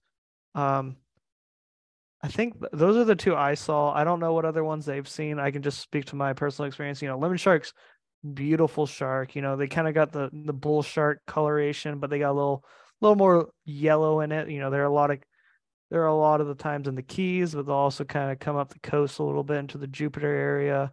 Beautiful shark. You know, they got a little more of that pronounced teeth. Um, that's a beautiful shark if you ever want to see it. Um, yeah, that and the black tip are the two ones I really saw on that trip. And that was, you know, super open ocean, you know, deep, deep water, blue as you could see, but you had just sharks kind of hanging out, swimming around. Super and where you are, it's it is freshwater, right? And then if you go over to Jupiter, Where I'm at is saltwater. It's a Okay, so it's- bay. So it's saltwater all over there. Okay. Yeah, saltwater bay. But in terms of like the world, would you say that there's other areas like if you had to go anywhere in the world, like where is like the ideal place for like a marine biologist to go see sharks? There's got to be a place better than Florida, oh, South right? Africa. South Okay. Africa. You can see turtles, uh, great white sharks. You can see some. I, I I worked my so when I was undergrad, the master student that was doing the uh macroalgae sampling, he went to South Africa before he did his master's program, he told me so many crazy stories. They were going out, you know, just swimming with great whites in the South Africa. It was crazy. You know, I, I I didn't do it, so I couldn't talk too much about it. But yeah, he he was doing uncaged, swimming around with great whites, and I, I mean, I met uh, he's a good friend of mine. He still has all his limbs, all his fingers. Never got anything nibbled off. Yeah, I didn't know they did that. That that seems very dangerous to me. But like you said, you guys are experts, so you know exactly how to handle the sharks. yeah, and I know, wouldn't it- know what to do. Its biggest thing is don't freak out. Yeah. know- same thing with same thing with bear. That's like the whole thing with any animal, right? Yep. It's just kind of like stay calm and not move or move Yeah, you very know- little, maybe. with within my career i've tagged sea turtles you know multiple species of sea turtles multiple species of sharks and multiple uh species of fish. I've also tagged manatees. And i've seen a manatee you know it was on its back. And when when it was on its back it just kind of shrimped and did this. And it hit the guy in the face and knocked out like five of his teeth. A manatee. The gentle di- giants you know. Any wildlife you deal with could be. I've seen more people injured by manatees than I have sharks professionally. But you know, I've swam I've swam with a thousand manatees compared to sharks. You know, I've I've been in a big herd of manatees. I wouldn't be in a big school of sharks. So, you know, it's it's all situational. You know, what situations do you want to put yourself in? What situations do you feel safe in? You you as a human have to make those decisions as a professional. Yeah, and speaking of which, if I like, let's just say I was in South Africa and I'm like, hey, Joseph, I want I want to go surfing out here, and it's like you know there's supposed to be like a ton of you know sharks or whatever, and I yeah. know people do go. I know people do go surfing yeah. out there, but there's one place I think called like Shark. Yeah, they got like Shark Beach. Yeah, yeah, it's a big tiger shark good, or some beach. Yeah, and it's supposed to be good surfing. Would you be like, no, I wouldn't go out there at all, or would you be like, you can go out, but be careful, kind of thing? You know what I mean? Yeah, I mean, I, am gonna. I'm a big film guy. Uh, have you ever seen? I, I assume you're a surfer. You've seen the Endless Summer. Yeah. So you know how they went out, and you know they're going to these beaches that's never been. This is back in the fifties, but they they're going to these beaches that have never been surfed. The first thing they did was they, you know, they talked to the locals. You know, if I'm going to a different country, I'm gonna I'm gonna talk to the locals. I'm gonna talk to people who go out there on a daily basis, who go out there, you know, as part of their job. Hey, you know, am I gonna go surf around these rocks or am I surfing around these rocks? You know, which which rocks are holding the sharks at this time of year? You know, I'm gonna I'm gonna go out and you know go to the local bar, get the couple surf guides, buy them a couple drinks, and they're gonna tell me everything they need to know. this is the best yeah. way I would do it if I'm going out somewhere. But yeah, I mean, talk to the locals. You know, feel out the vibe, and you know, if you're not feeling comfortable, just don't go out that day. It's it's, it's not. Yeah it's simple as that. Yeah. And yeah, like I said, I, I don't, I don't, um, I haven't surfed in a while, but one of my favorite things to do is, you know, like you were saying, some of these guys have the whole dome with the, with the camera inside, but I, I just have a GoPro or a DJI Osmo action camera. And, um, I go out there and film the waves or whatever. And man, it is, it is probably one of my favorite things to do because there's just something about being in the water with nature, like filming the waves or filming whatever the surfers or whatever. That's just so amazing. So I, I would imagine that you know, like when you said people wish they had your job, it's a cool job. So as far as the actual job, well, one thing I'm still a little unclear on is what the end goal is that you guys are doing. Like you're tagging the sharks and the turtles. Mm-hmm. And what is the you may have you probably have already said it, but what is the the goal for you guys when you're tagging the the sharks and the turtles? Just to kind of better understand predator prey relationships between you know your, your predator sharks versus your sea turtles is a primary. Okay. So it's pretty simple. It's okay. Um, in terms of you going in, what what's it like going into the water with the sharks? Like, so you go out there on a boat. Mm-hmm. I'm assuming, right? You, you jump off the boat. Are you, are you wearing the full scuba gear? Um, so I I still do the volunteer work with NOAA as a, a beach shark tagger, and so that that that is a little more you know I'm in the water with a shark. So with that project, we set up on the beach. We have the big fishing reels. I mean, our reels are like this freaking big sometimes. We're using like 250 pound test, you know, circle J hooks. There is big as my jawbone. Um, and with that, you know, we're kayaking the bait out about 250 yards past the second sandbar. That's where your shark population usually resides. Every area is different. I'm not saying if you don't go past second sandbar, you're not going to see a shark. Um, so with that project, drop the bait, kayak back in, and we just sit around on the beach.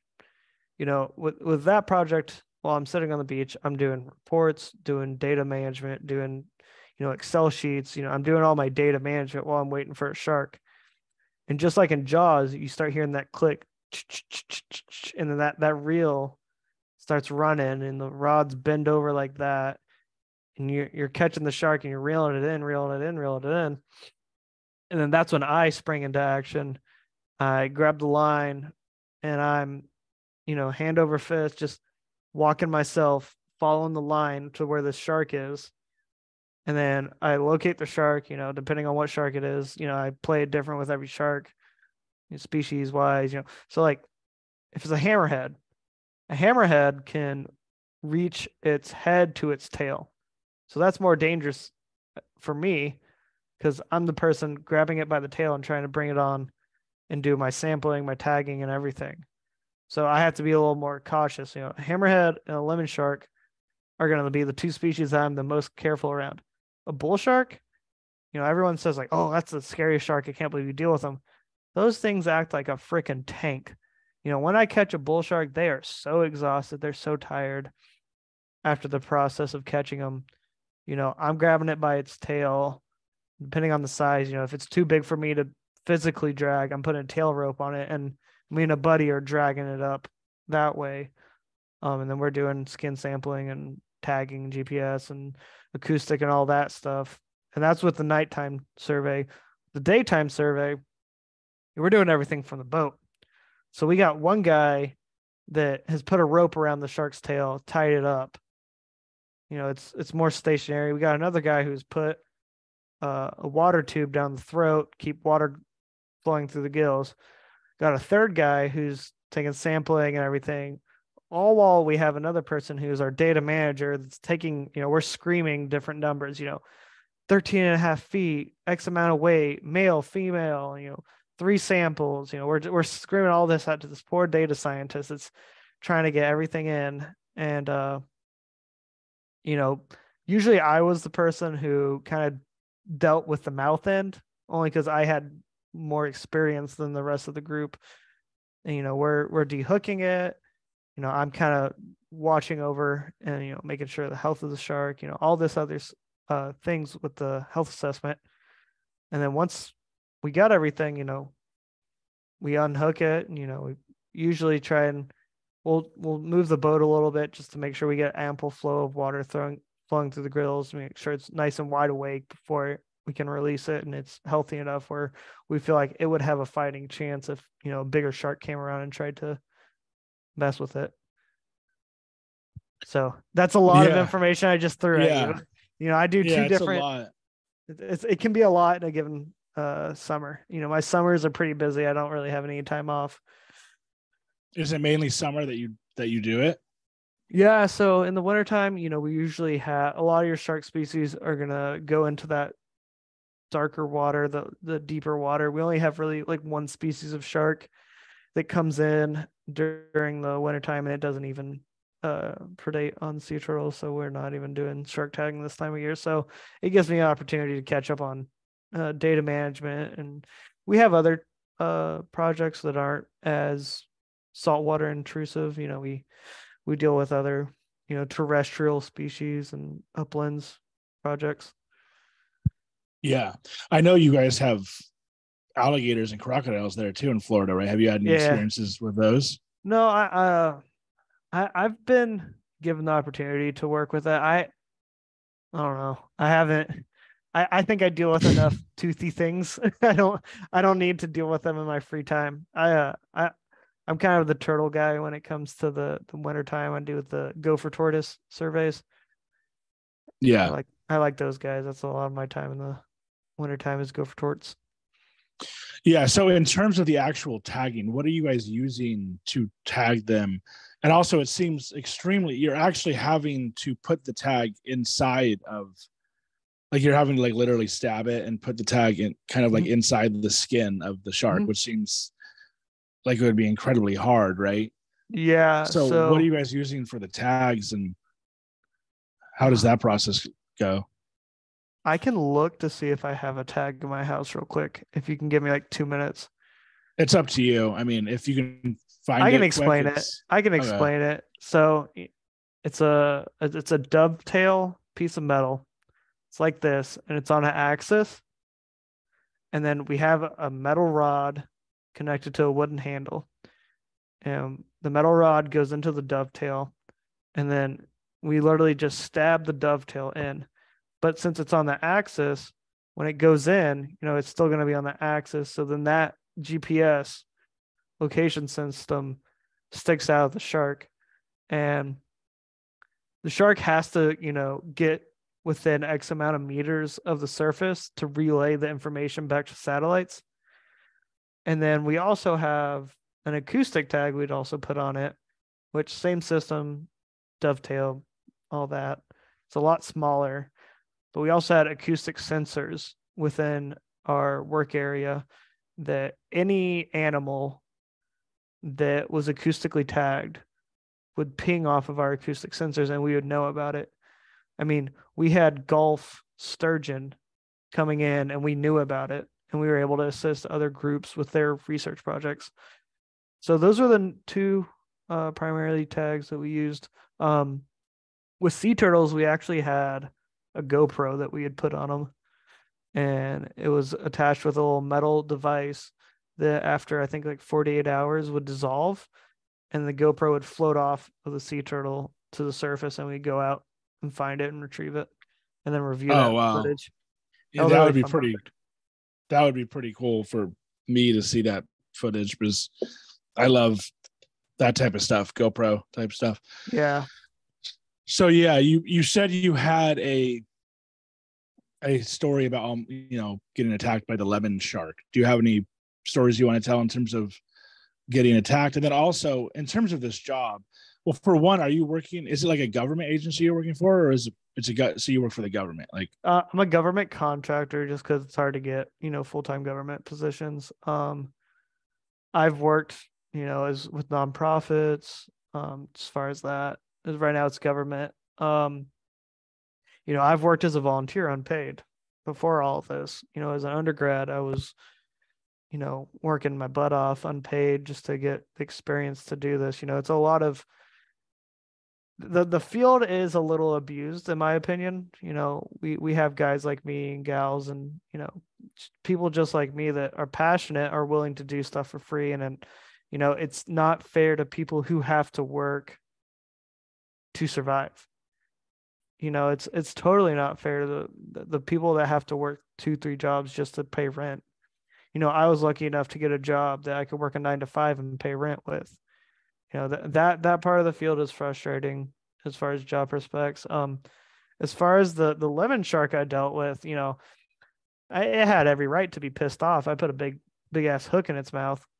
Um, so we hit you know super smooth lemon sharks. They're, they're pretty hardy species brought on to this is a nighttime tag so this is around you know 1 2 o'clock in the morning. Pitch black dark. We have one guy with a big spotlight that's kind of trying to keep it on me. Tag it skin samples do all the measurements and all that good stuff. And this is you know on the beach pitch black night you know, I, I put my left hand under its tail fin and then my right hand, you know, kind of just the tail fin goes over my shoulder and I have it just kind of held. You know, I'm just heave hoeing, you know, pu- pulling the shark back into the water. And I think I think it was a low tide that day. I'm heave hoeing and I I get it back into the water, but the first sandbar was exposed still and I realized I had to get it from the beach to the first sandbar and then over the first sandbar. So at one point, I've got the shark's, you know, tail fin over my shoulder and I'm like backstroking and just swimming back to the first sandbar.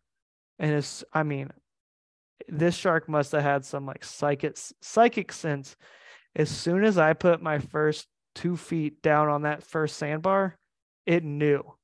It was like, no, no, no, no. I'm done with you playing with me. You know, you're not gonna mess with me anymore.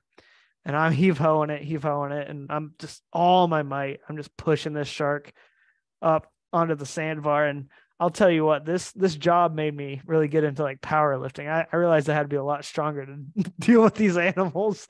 These are some big boys. And I I put it onto the sandbar. And I mean, we might have had half a foot of water on that sandbar. And I'm by myself. We have the guy on the beach just flashlighting me. And the lemon shark just full twisted towards me and did a little chomp.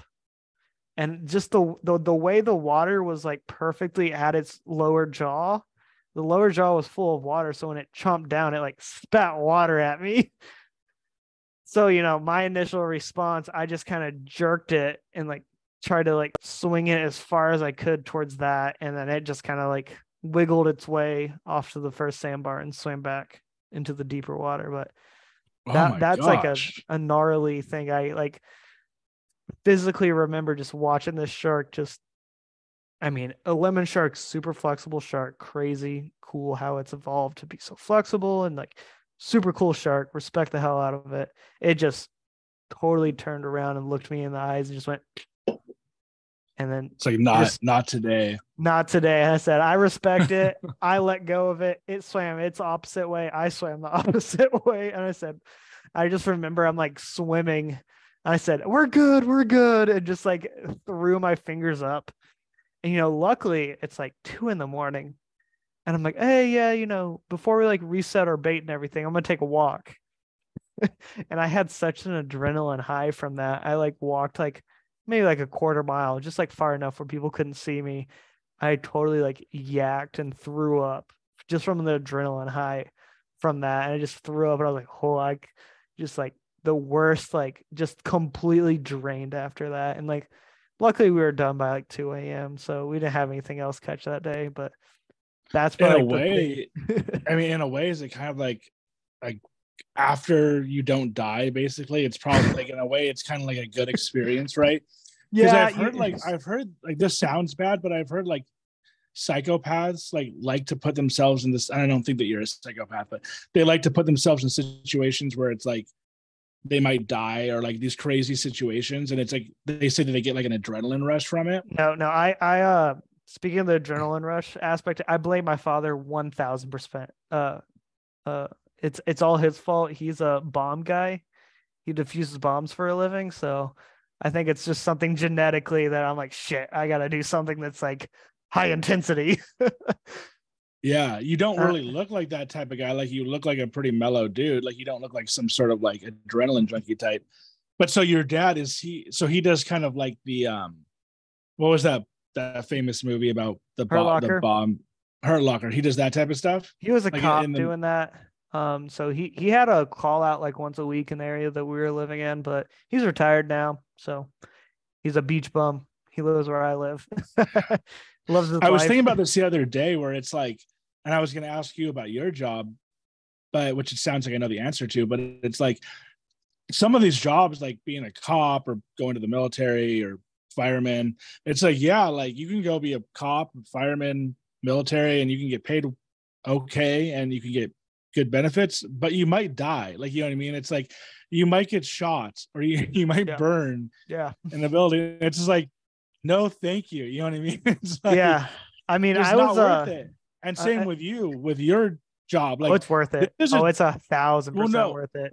I'm not saying, well, for me, it wouldn't be worth it, but yeah, that's for fair. you, it is. but with your job, like you potentially could die, mm-hmm. right? Like, this isn't like obviously but I mean, it almost sounds like this. Like if that shark wanted to actually bite you, like oh, I'm done. You're done. You're you're done for. So I mean, I just I, I can't. I I'm kind of surprised they even have these jobs. For one, I have so many questions about your story too. Why was it 2 a.m.? Like I didn't know you actually were bringing these sharks on to land. So we because isn't that some isn't that kind of like how long do they have on land? Exa- exactly. Breed? So you know we're keeping them, and you know we keep where the, the surf is still supplying that oxygenated water to them. You know the, the issue is you know for my master's, what I actually want to do is my thesis is looking at long term impacts that bringing a shark onto land would have to its organs. That's what I would like to do for my math- master's thesis.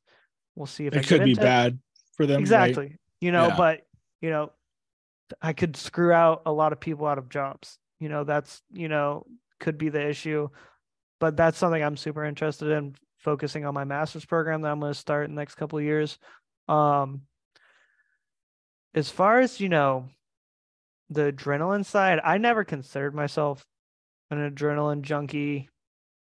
You know, yeah, I, I joke about my dad doing what he did and everything. And I say I get it from him, but like Mm, that's the only time I've ever really had like an adrenaline rush from it. Other than that, it's just super like, yeah, this is what we're doing today. Like, it's just another fish. It's just what we're doing. You know, not every shark's gonna clamp its jaws at you. You know, a lot of times they're just, they just want the free meal and be left alone. You know, we give them the bait and they go home.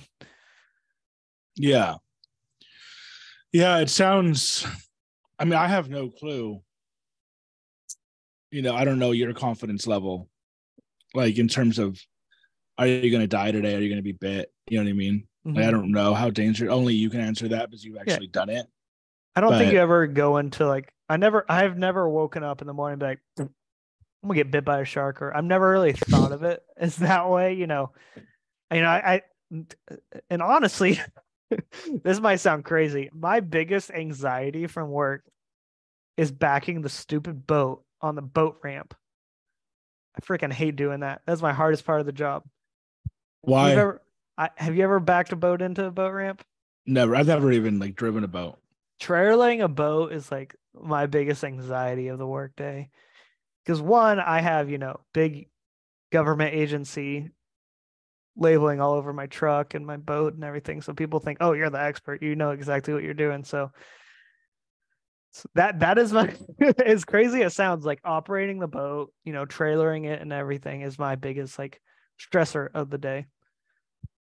Yeah, it's know, interesting because yeah, I've had jobs where like just certain things will make you anxious and other things will and it doesn't really yeah. fully make sense. But like like similar to that, like I'm an Amazon delivery driver, but I drive like the the uh, the blue vans, you know, that you see. Mm-hmm. But like, I don't know how well I would do, do driving in a semi truck because it's just like, and it's like one of those things where you don't know until you try. But I just wouldn't want to be in that situation where you're driving a semi truck and suddenly I have like a panic attack, and it's like exactly, you know, you can't just be like, oh, I'm I'm done. Like you you got to keep driving, and it sounds like, you know, it sounds like I'm a pussy or whatever, but it's like even driving a semi truck kind of scares me. You know what I mean? Like there are oh, tons oh, no, of jobs I out there it. that are just scary. Yeah, I mean, just backing up it, my like pickup truck up to the boat hitch, I'm like ready to have a panic attack some days. Like, but you, you just, don't want to hit anything. You don't want to hit. It's government property. I don't want to screw up. I don't want to cost more to our project. You know, if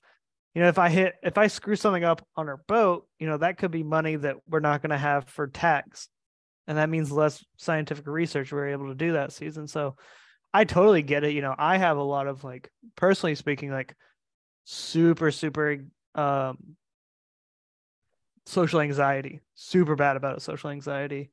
Like after work, I don't want to do anything, you know. Yeah. I I, I, I shut mean, down. Yeah. yeah. So I, I get that. It's just weird how like the hardest part of my day is not the like physical handling of a shark. Like to me, that's like that's the easiest part. It's just physical. Yeah. You can't screw yeah. up physical. As long as you're like in shape and know what you're doing, you can't screw up physical. Yeah, and yeah, similar with me. It's like one, like obviously I don't want to hit anything because that just sucks. Whenever you hit anything, it's just like a just total drag, you know. And then also like, but then there's other situations where like I'll be out on like my job isn't that dangerous, honestly. I know like tow truck driving can be because you're like you have to stop on the freeway. Mm-hmm. But where I'm stopping, but it's I've been in situations where like I'll be on a on the side of like a busy street and I'll get out and I'm not really that worried about cars hitting me. Like, you know what I mean? It's like, it's kind of messed up. But like the way I look at it is like, like obviously I'm not trying to get hit by a car, but it's kind of like, I guess if a car swerves and runs into me, then it's like, I mean, I can't control that. And exactly. Um, and not only that, but it's I just get out real quick, deliver the package, and go back. It's not that big of a deal, but certain things will be that probably should be more scary or less scary. But um yeah, I don't know if you have any other crazy stories just in general, like kind of adre- adrenaline junkie stories. But if you do, go ahead. But I also wanted to just ask the question of some of this stuff does come across to me, you know, someone who knows nothing about it, basically. As you could, well, not even to me, but I guess people could look at what you do and be, like and same thing with tagging bears or tagging any animals as like, even though I think that you guys are ultimately and the government is ultimately trying to to do good, it can kind of come across as like bad or like in, like you having the shark uh, like beach basically. Kind of sounds like you feel sorry for the shark. So do you guys feel like the, the long-term impact on these animals is overall kind of like is that how you kind of justify these things? Like it's going to be better for them in the long run? Yeah um as far as like current methodologies like obviously as a scientific community we're constantly looking for less invasive less problematic you know just how we as scientists can be better for these animals how we can manage them better, how we can, you know, interact with them in a safer way on a day-to-day basis. You know, that's just what we do as scientists, what we try and accomplish. Um but man, I I, I run into that a lot, you know. Would I love to like live in the Bahamas and you know do what they do on Shark Week, where all I do is like swim up to the shark and put a little spear gun dart into them? Like, yeah, I would love to do that. But you know, some days the water is going to get murky where I can't see two feet in front of me. You know, as as as a as someone who needs to get that data consistently, that's not viable for me. You know, we might be impacting a small, small, small, small, small subsection of the population. You know, it it, it is that greater. does the greater good outweigh what we're impacting? Um, you know, I I would love to see new methodologies come into how we work. You know, we've tried to use drones to do population surveys. We've successfully done a couple surveys with drones. You know, you know, d- drones could be the next big uh tool you know it is the next big tool that we use as scientists um but you know i'm not going to be able to fly a drone and tag a shark with it. So you know some days it would be nice to like be totally non-invasive with animals but it, it it's it's not the reality as we see it so far with the current technology that we possess yeah, and it goes back to like what we were saying before about um I, uh, I lost my train of thought there. Um we were talking about this type of thing before where it's like is yeah, I guess it's just is it is it overall better for the animal or not? Yeah.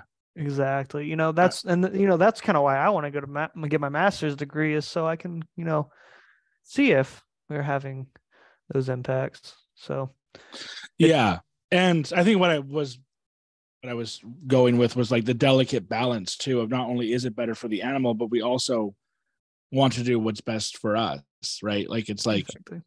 yeah. So you know, there are certain there are certain situations where like you just have to do bad, I guess, to do good. You know, like you have like obviously if you're in a situation where there's like too many animals you can't just let them run wild.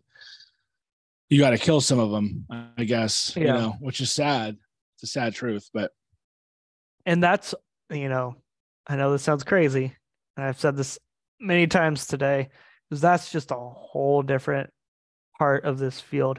There there are people who their whole job is dedicated to fisheries management who we you know we send our you know population survey data we're going to set, we're going to transfer that to different people within our agency who deal with fisheries management. You know they know if there's x amount of sharks in this area then you know the snapper population is going to react in this certain way. And then with the snapper population in this uh foreseeable future then we can have this much commercial fishing going on in the area you know? So that's like a whole different subsection of my job. You know, I, am more of a researcher where that is more of a managerial role. Um, I can say, you know, I would like to get there eventually. That's kind of where I want to move my career towards is fisheries management. I think it's super cool what they're doing. You know, it, it gives the biggest impact, you know, with public and everything. I think it's super cool what they're doing. Yeah. So in terms of the good of what I think you kind of just mentioned it, but in terms of the good of what you're doing from just like from your perspective, is it kind of like if we get enough information on these these animals, we're going to ultimately make a better decision, such as, like you said, like where they allow fishing and stuff like that, or like what are some of the other examples of you know good changes we can do? Exactly. You know, if we understand how these species work together on a long-term basis, you know, we can maybe increase fishing populations or decrease fishing populations. So first future generations can also eat the fish that we're currently eating. Um, you know, it, it is all for the management of future generations. Right now, you have to kind of see past the here and now.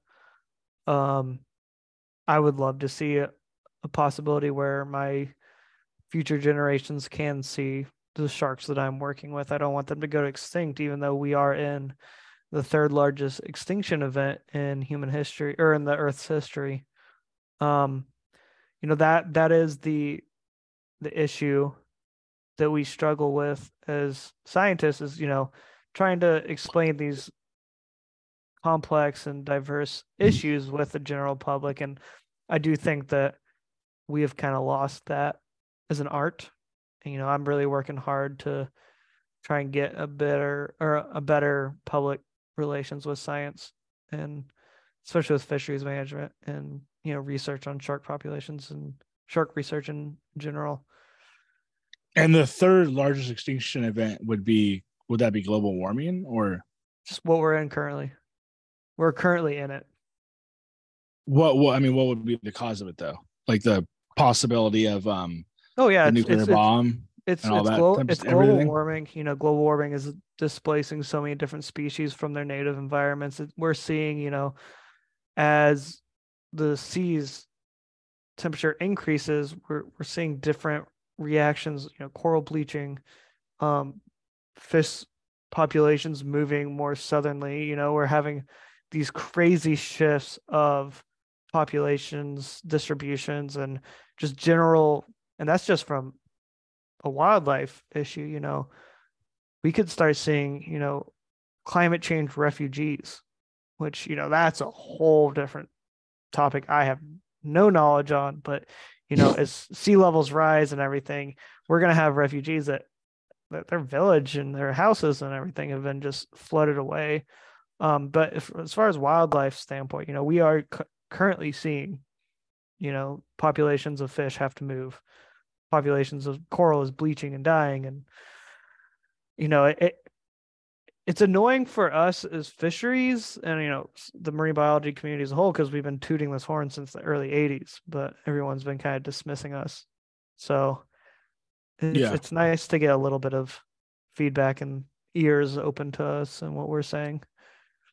No and that's definitely why i or i definitely agree with you on that subject and i think the big problem if you're i think you're mainly just talking about global warming right yeah, global warming, climate change. You know, they're going to be used yeah. interactively and yeah, vice versa. So, so, the, I think the the big thing with that is, well, first of all, you, you probably have half of the country who just doesn't believe in it for whatever reason, and then I feel the only problem that I have personally, I don't feel like there's enough specific data in terms of like when is one when's it going to happen, and I know you could probably just say no one can predict when but I mm-hmm. think that humans are kind of like tend to be like, well, if it doesn't affect me in the next, which is sad to think about, but like we were saying before, you want to look to future generations, obviously your kids and their kids. But I think most people sadly think if it doesn't happen with the next,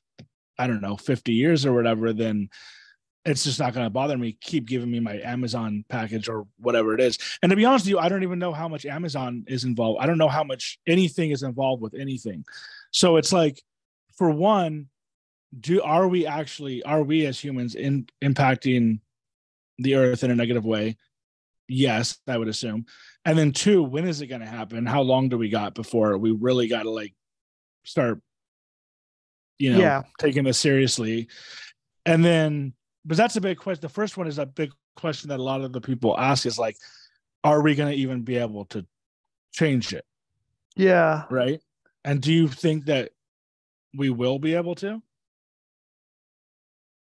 And Oof. then also, if you can answer when, when do you think, like, when do you think it's going to get to the point? I live in California. Mm-hmm. When do you think it's going to get to a point where the water actually is rising enough to where those houses on the coast literally can't be there yeah. Anymore. Um, you know, we both live on coastal states.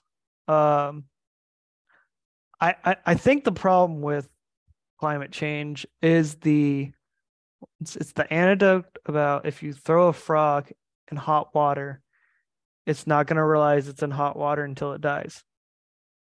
And uh, you know, you constantly just slowly, slowly get that water a little hotter and a little hotter and a little hotter until it's done and i think that is as a human population that is what we are in as a situation as a whole. As far as you know, I, I don't think you know this is.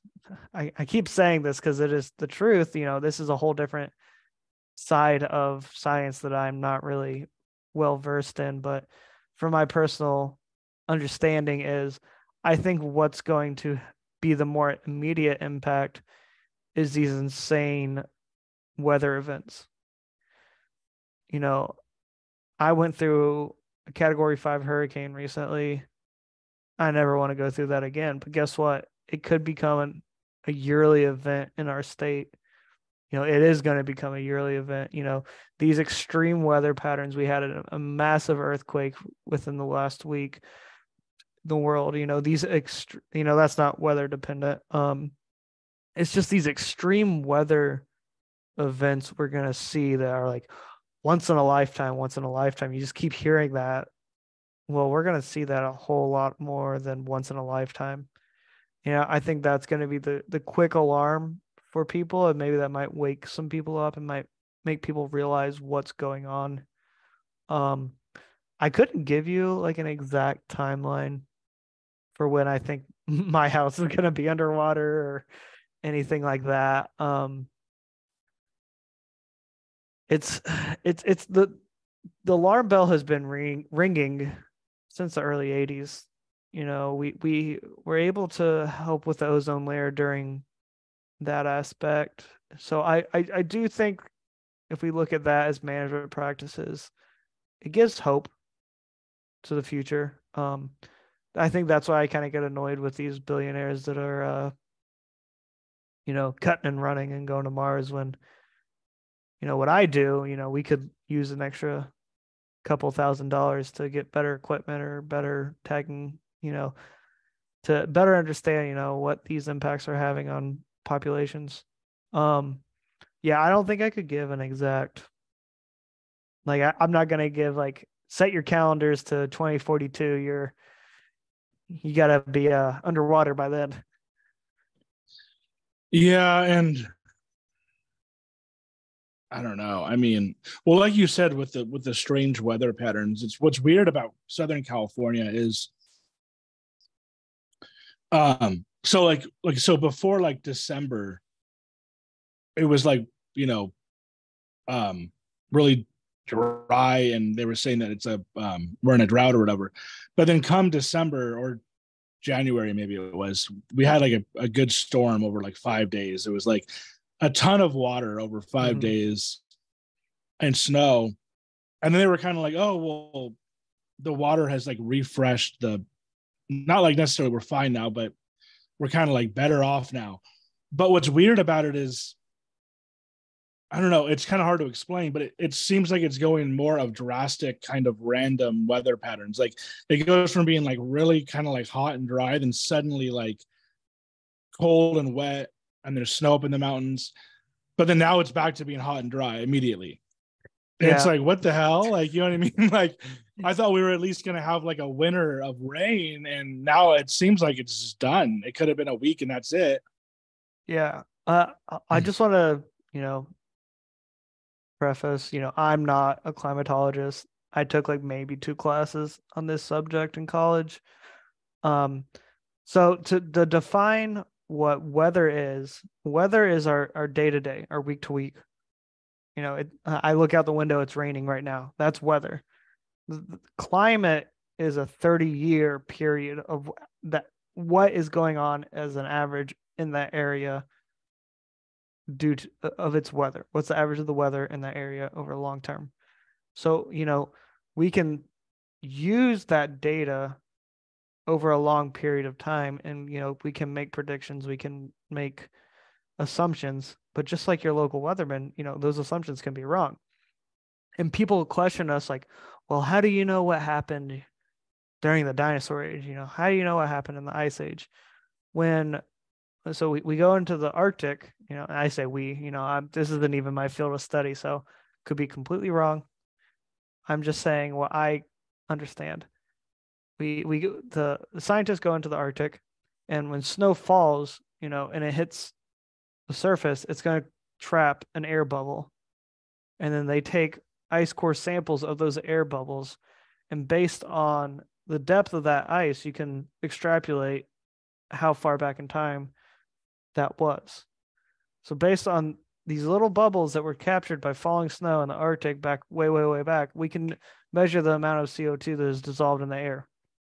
So that's how, as scientists, we can we can understand data that's gone back way, way, way back. And like I said, that's a whole different, you know, that's a whole different field of study than what I'm knowledgeable of. But that is what my knowledge has consisted of is that. So that's kind of how I explain what we do is, you know, climate change and how we understand climate change in the here and now. Could that change in the next 10 years? Of course. Science is constantly changing, science is constantly improving. And, you know, for people that is hard to understand. We are constantly challenging each other as scientists. We're constantly saying, hey, you're wrong. This is why you're wrong. You need to change. And then I need to go out, get the data, get the samples, and get everything, go say, hey, you're actually wrong for calling me wrong. And here's the information to explain why I'm right. So that's, you know, as scientists, it's a constant battle back and forth, back and forth. And, you know, with an issue as big as climate change and it being on a public stage, it makes us look bad as we're going back and forth, back and forth, you know, it makes people distrust us in the long run. Yeah.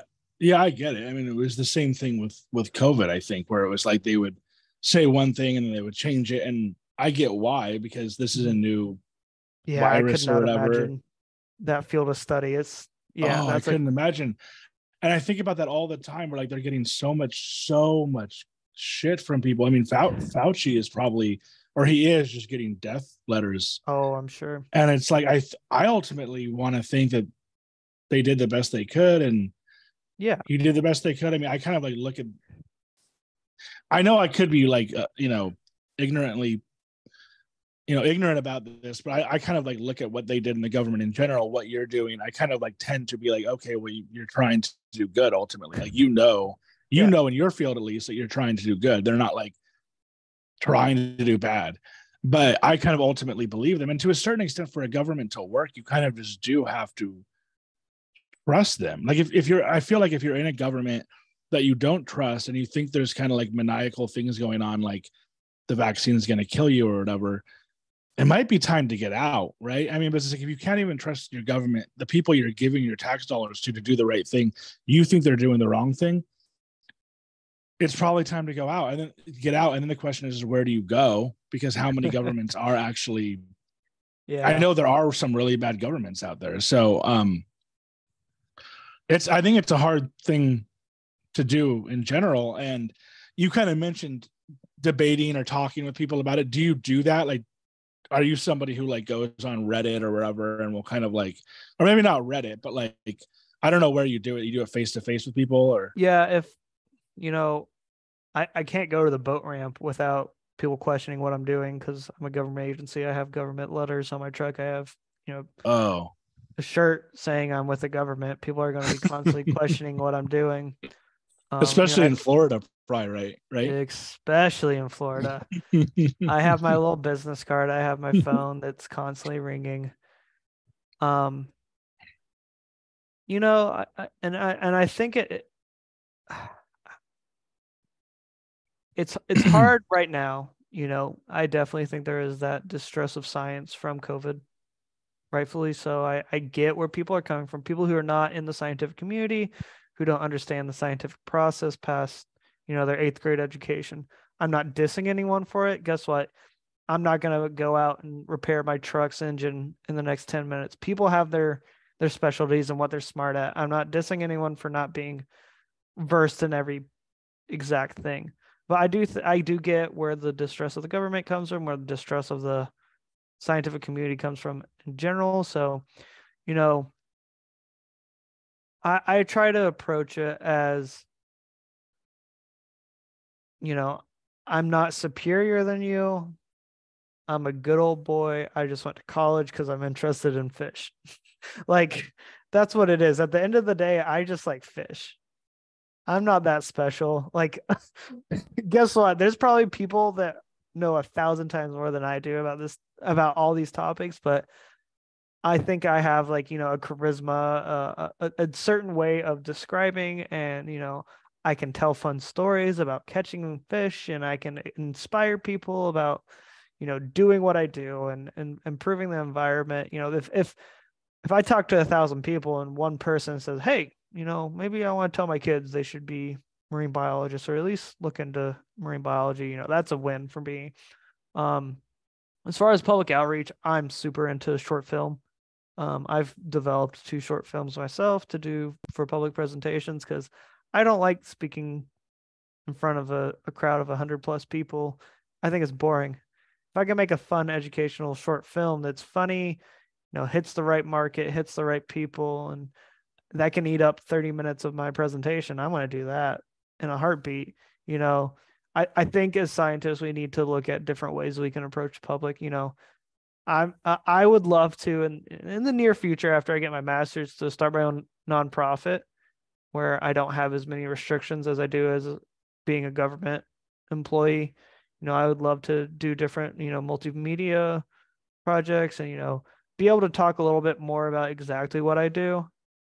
Um to like a, a, a podcasting form or you know YouTube or you know I'd be down to Twitch stream having old a phone on the boat while we're tagging sharks. You know, how how amazing would that be for the general public to, you know, actually watch what we do as scientists on a day-to-day basis. If we get two viewers that day, that's you know, two people we impacted, you know. Would that be legal? Like could um, you actually film what you're doing as you're doing it? I don't think so. It's, it's a lot of what we do, you know, it is government, so you know, th- there's so much oversight with the government before anything that's why I haven't mentioned like specific government agency I worked with or who I'm affiliated with. Because if I were to, you know, I would have to go through all the way up to DC and get everything I said um, approved before it can be released.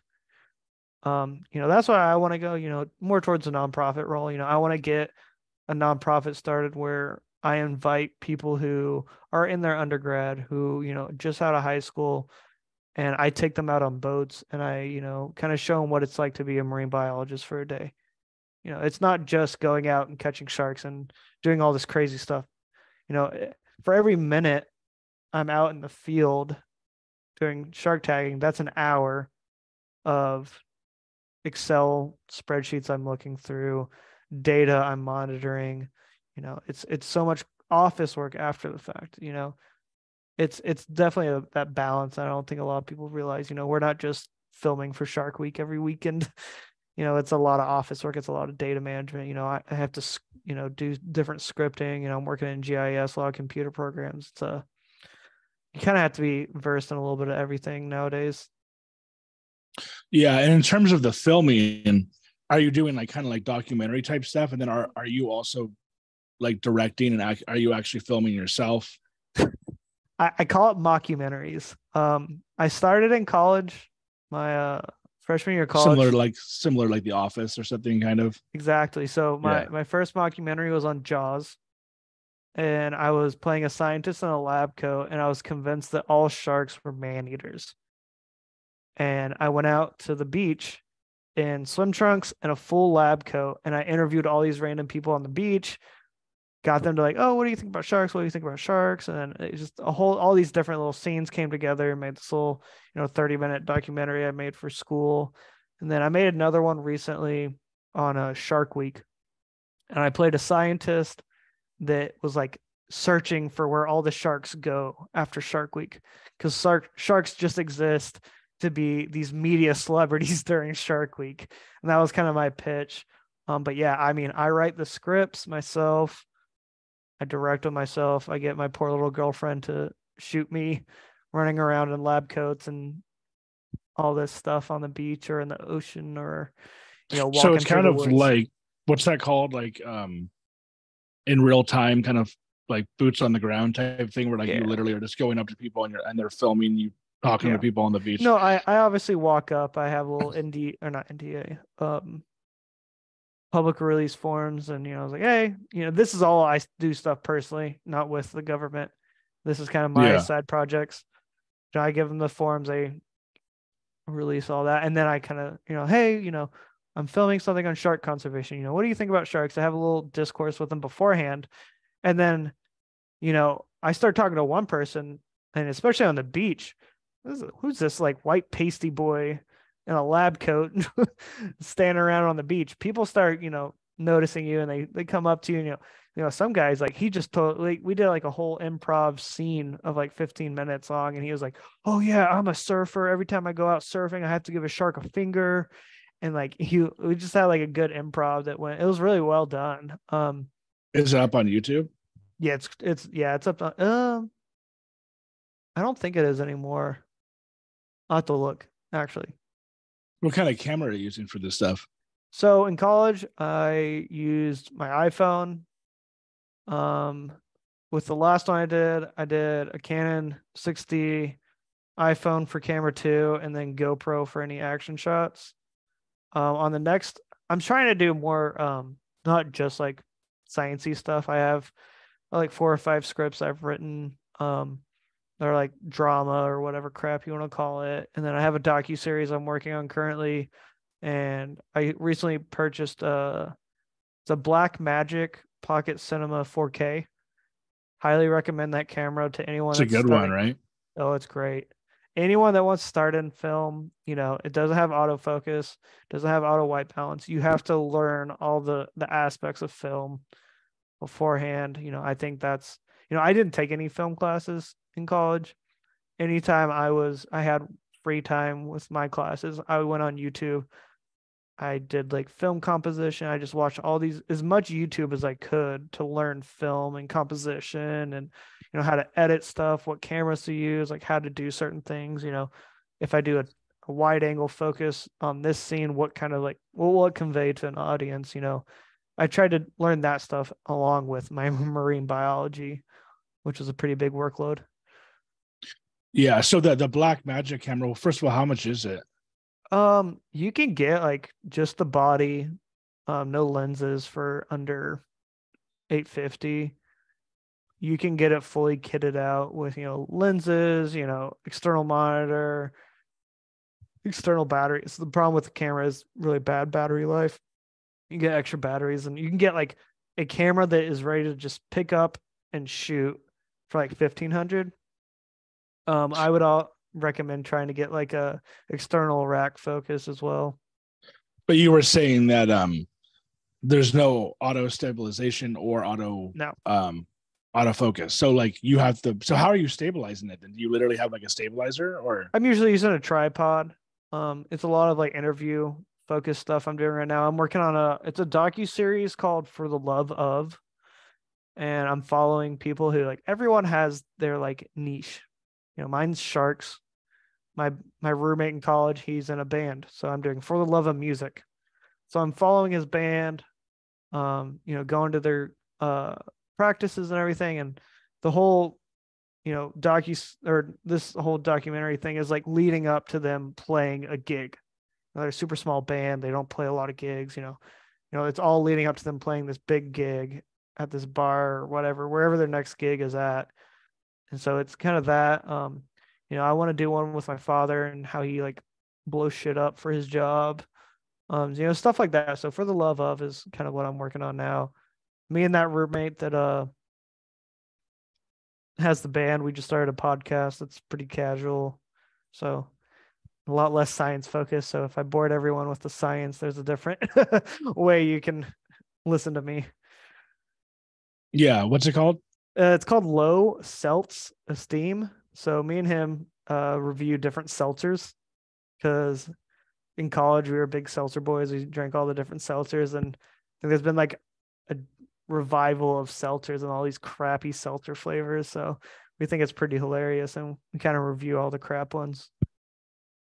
Yeah, yeah. So yeah, I'm into I'm into I wouldn't even call it film. I would call it like um posting reels on Instagram and TikTok and YouTube. Yep. I mean, I feel like I'm pretty good at it, but the main problem is I and I don't really want to get too into the weeds with this stuff, but um the main problem is is that like I just don't have the money for like really nice equipment. So I have my iPhone, which honestly, as you probably know, is pretty good. And then I have a DJI Mavic Mini drone, which is relatively cheap for drones. Mm-hmm. I want to get the Mavic 3, which is like two or three thousand dollars, but I have to go with the five hundred dollar one. And then I do have a DSLR, but the DSLR isn't great. Um, but what's funny, what's so great about it is that like cameras are so good on the iPhone and everything else. They're so cheap nowadays that I can post decent quality on there.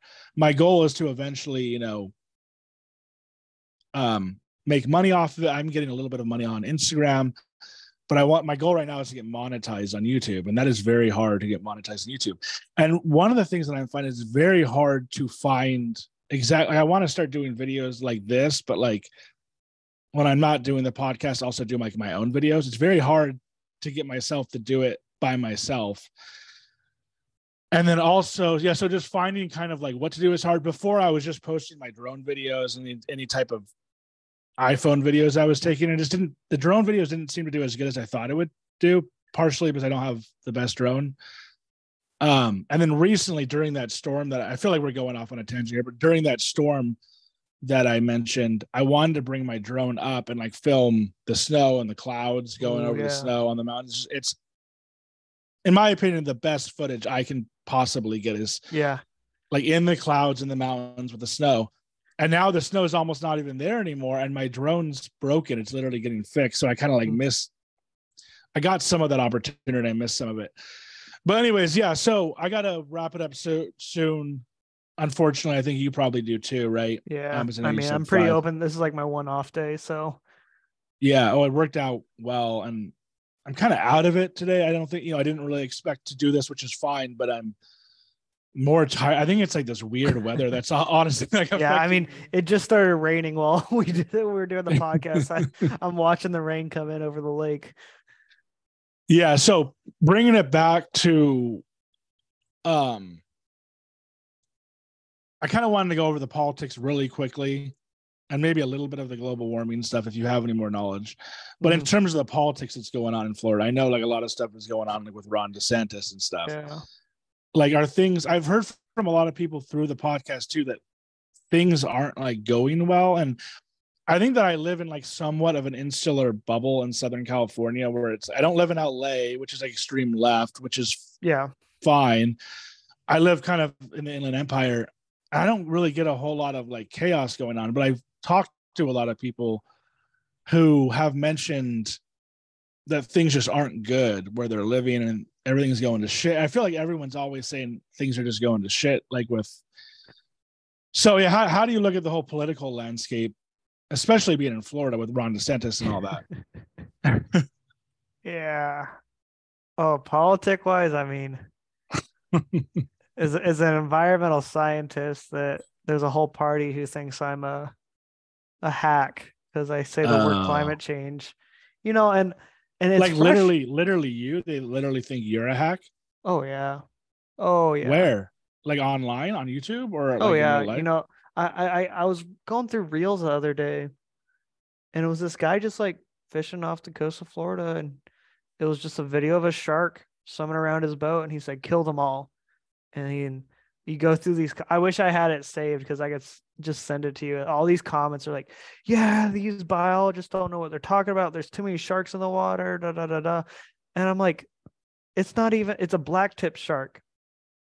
So imagine you walk out to like your walmart parking lot and see seagulls and you're like oh i see this x amount of birds so we don't need to protect owls or whatever endangered species is in california just because i saw some seagulls in a parking lot in Walmart. Like the the politics of it, you know, I, it's hard to talk about it because you know, as a scientist, I try to be as apolitical as possible.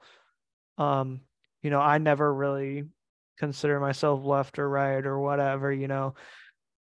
It it is frustrating. Um, I definitely remove myself from politics as much as I can because I got plenty else to stress about, like with my day to day to work and you know everything yeah. like that. You know, but you know, also, you know, I worked under the Trump administration. I worked under the Biden administration. You know, funding was different under Trump. Funding was different under Biden. Um, you know, I, I I work with people who work for Florida wildlife department. Um, and they say Ron DeSantis is actually pretty wildlife forward. you know, but he's also anti-climate change. So there's that weird. It's weird. You know, I don't know how to explain it other than weird. the politic climate of America is just weird, and it's just very weird. It's weird for me. I grew up. My first my first election was the Trump Hillary election, and then my next election was you know, Trump Biden. It's just been a weird political time in America. Man, I, I I hope for the day that you know all we care about is who wins the next Super Bowl. rather than what goes on with the House and the Senate and who boos who at the State of the Union address. Like, man, it's it's weird. It's it's weird right now to get yeah. into politics. Speaking of weird, I, I listened to the, I don't know if you heard of this podcast called H3, the H3 podcast with the Ethan oh, Klein. You know what I'm talking about? The Vape Nation. I was a big Vape Nation guy growing up. yeah, honestly, I didn't I ha- I didn't go back. I've heard that he was better like back in the day. I, I didn't uh, I haven't gone how old are you by the way, if you don't mind me asking, or like uh, rough I'll age? be 26 this year. Okay. I'm a young so, guy. I'm so you're, yeah, one of the youngers. You're younger, yeah. So um I recently got into that podcast, but it's mostly him and you know Hasan Piker who goes oh, on yeah. his show. Yeah, yeah. So you watch the leftovers. Have, exactly, it's leftovers. I pretty much have only been listening to leftovers, but they went into this thing on Ron DeSantis where he was saying he was literally like something with like gas. Oh my god! electric stoves. Ron, Ron and, like, DeSantis. It, doesn't, it, oh. doesn't. It didn't make any sense. He's like they're coming after. They're coming after our was it gas stoves or yeah but the, i think it's like it was so weird. 93% like, of florida population uses electric so 3% of the population has a gas stove and he's like yelling about 3% of our population. Uh, yeah I, I i watch leftovers a lot. I watch hasan piker a lot actually. He's where i get you know mostly my left leaning you know my hard left leaning i try and watch you know both sides but man it's hard to watch the right side sometimes.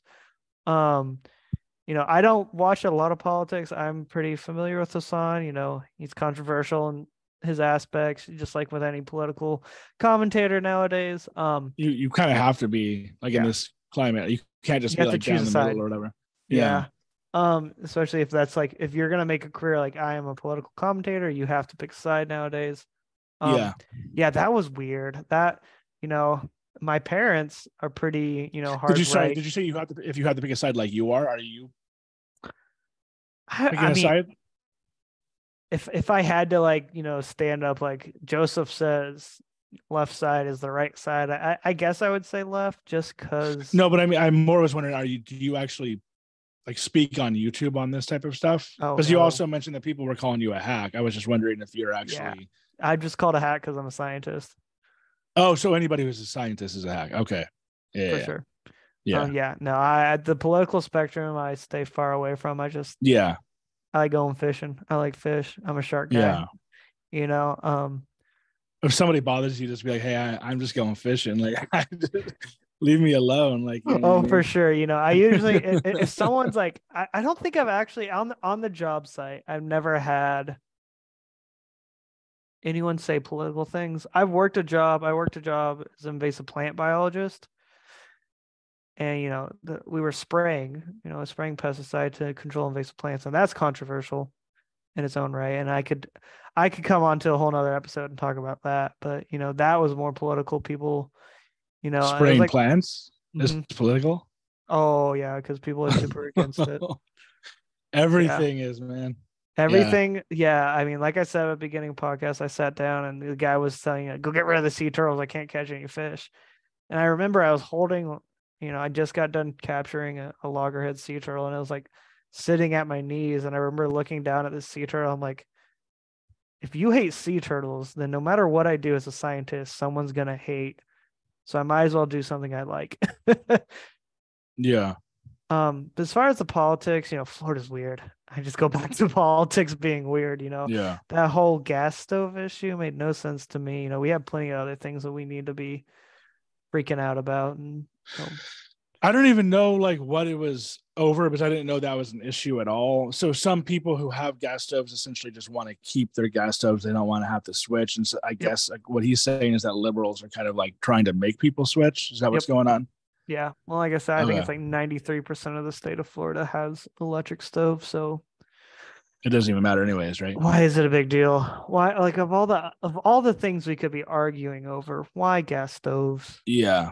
And electric stoves is the reason is that because like they're just better for the environment or better for the house or they're better for the environment, I believe. Um, you know, I you're not putting fumes in the air like you would with a gas stove if you accidentally leave it on. Yeah.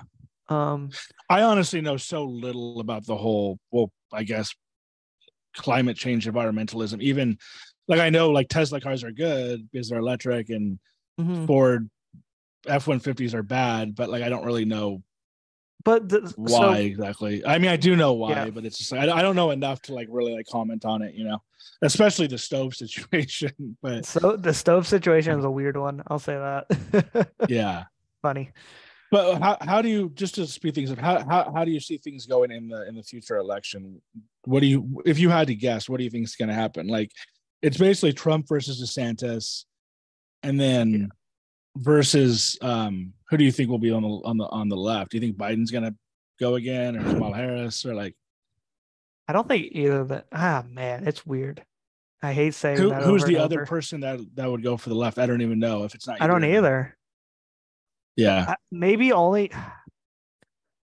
I don't see Biden wanting to rerun. I don't know. He he had a good State of the Union, I believe. Um, I, I think what's more interesting is the Republican Party, and we're gonna ha- we're gonna see a massive split this year between the Trump Party and the DeSantis, which is good. I believe, kind of right. I think I it's kind of good. There's a whole. I, I think Trump has like changed politics so drastically. And this is yeah. coming from a 25 year old who barely knows anything about politics. I'll preface yeah. that. Yeah, I don't I really don't know how this uh, cycle will go. Um, all I do know is in the next four years, I'm still going to go out fish. I'm still going to go out and tag my sharks. I'm still going to do what I love. yeah, you'll still be doing the same stuff probably in four yeah. years. Um, but in terms of those two, who do you who do you think is going to win? If you had to pick, who who would you pick to win out of those two? DeSantis. Oh, really? So you think he's even better than Trump? Okay. I think Trump lost a lot of credibility. I think uh, he flopped with those NFT stuff. He did that NFT stump and it pretty flopped.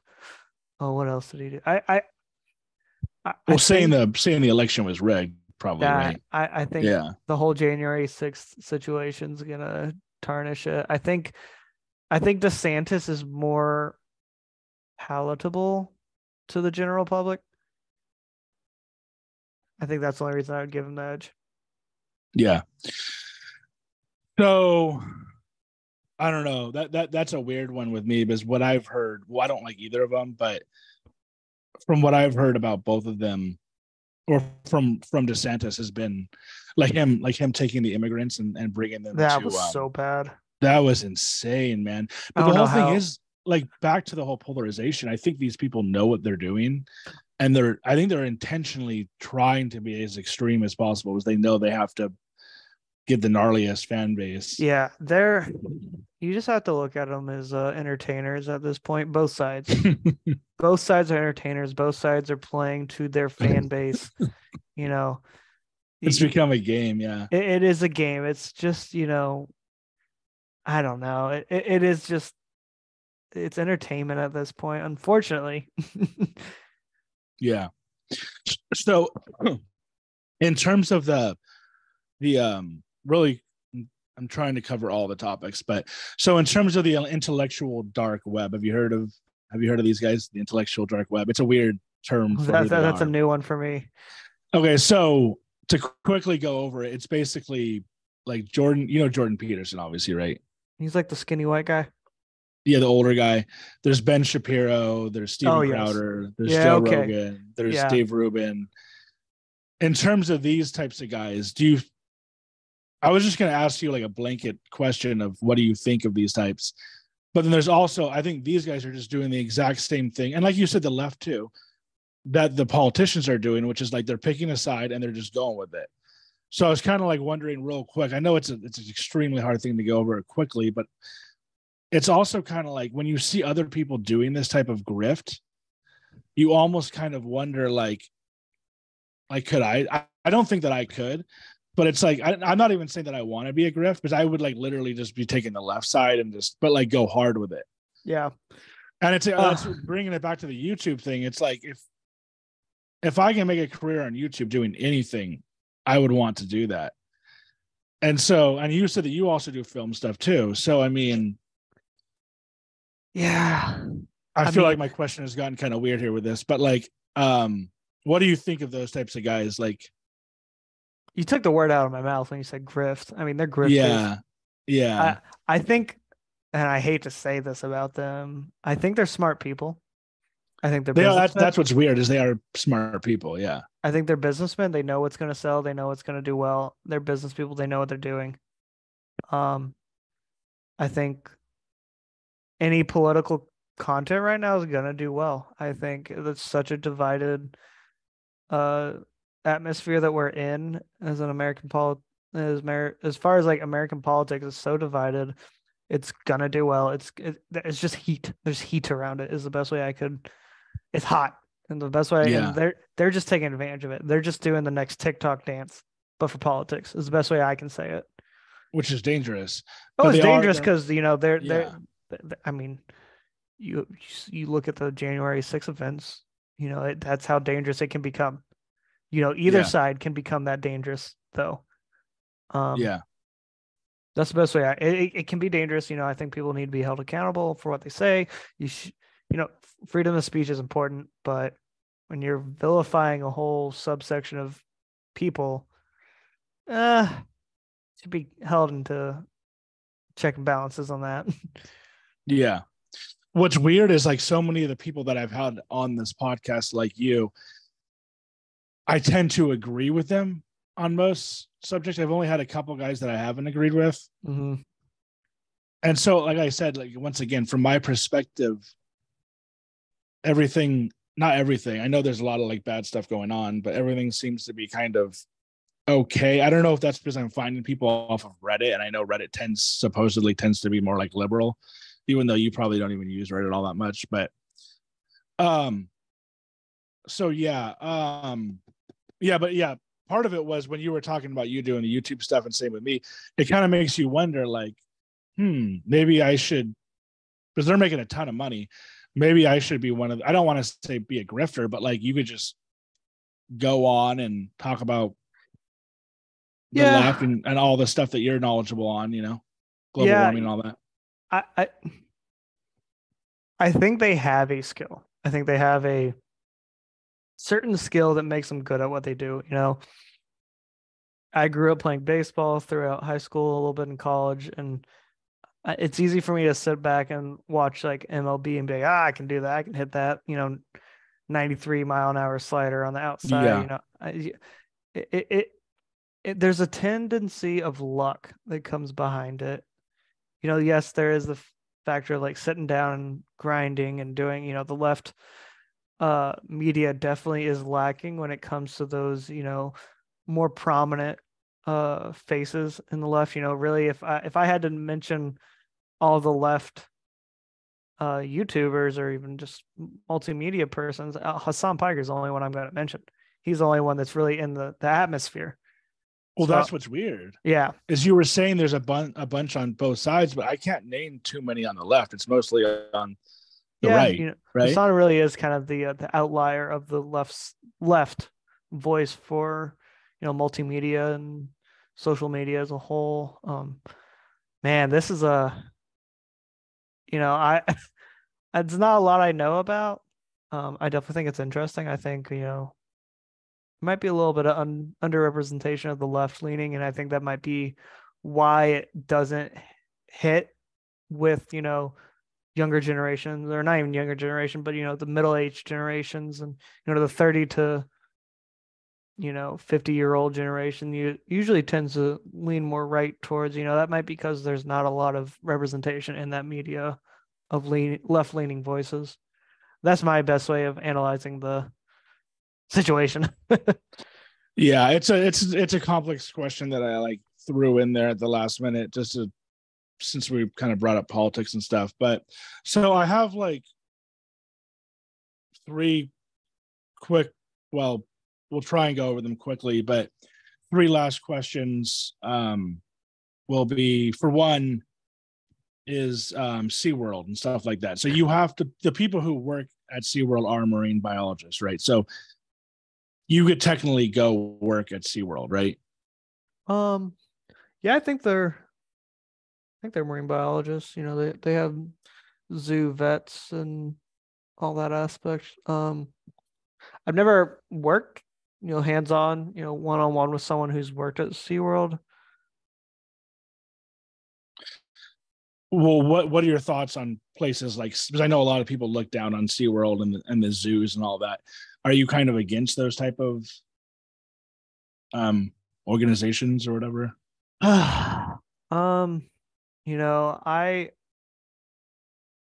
I volunteer with a, a, conservation group which we house certain species of turtles. Um, you know, people don't like that we house these certain species of turtles. Um, I, I explain to these people, you know, the, the the, the turtles that we have on site were from predated nest. They've been raised in captivity. They've only ever lived in captivity. They only know captivity. They they would not be able to survive in the wild. That's why they, you know, reside within that organization. Um, as far as SeaWorld, man, I don't really have any like um I'm not gonna like show up to a SeaWorld protest, honestly. I think um what they used to do was pretty bad. I think they've learned from it. I think they're trying to go more of an education route. Um they kind of got their lumps. They got beat up. They they're they're trying to improve that image. Um I don't really have any super strong, you know, opinions on SeaWorld uh, in the current state which in they're in. You know, if you asked me back in the 80s, I'm yeah, screw those guys. yeah. And then in terms of being for people out there who want to be a marine biologist, like you said, it is a depressing job. But well, first of all, in order to do the job, do you have to do what you're doing, which is do you have to be willing to go into the ocean with sharks or no? There's a lot of people who don't do that. That's no. specific job. I re- I'll tell a funny story. We were uh I was getting my advanced uh, scuba certs and it's nothing special. It just permits you to go a little deeper when you're diving. And I was with a group uh, with marine biologists and I don't, I don't know if you know what a remora is. It's a shark sucker. It's usually those fish you see on the side of sharks. And um, no, no. It's just like a long silver fish. They got a flat head, literally can suction themselves and onto anything. And you know, we're rolling off the boat, rolling off the boat, and a lot of times when it's deeper water, you're gonna have an anchor. Oh, you're gonna have an anchor line, and you just sit on the anchor line waiting for everyone to roll into the water. And a remora started swimming up to you know the other marine biologist, and some of these marine biologists freaked out. You know, they're not used to dealing with wildlife. They're not used to that situation. You know, I know some marine biologists who are perfectly fine with just working at a desk, doing data analysis, data entry. You know, I know marine biologists that are perfectly like knowledgeable on how I, how to like code in R. You know, they know all these coding languages. Um, and then I know other marine biologists who say they'll never learn how to code. You know, it's such it's it's a wide field. Um, you know, unfortunately it is kind of turning into the fact that you have to get a master's and a PhD to get a livable wage nowadays, unless you get super lucky. Um, you know, people that really want to do it don't do it for the money.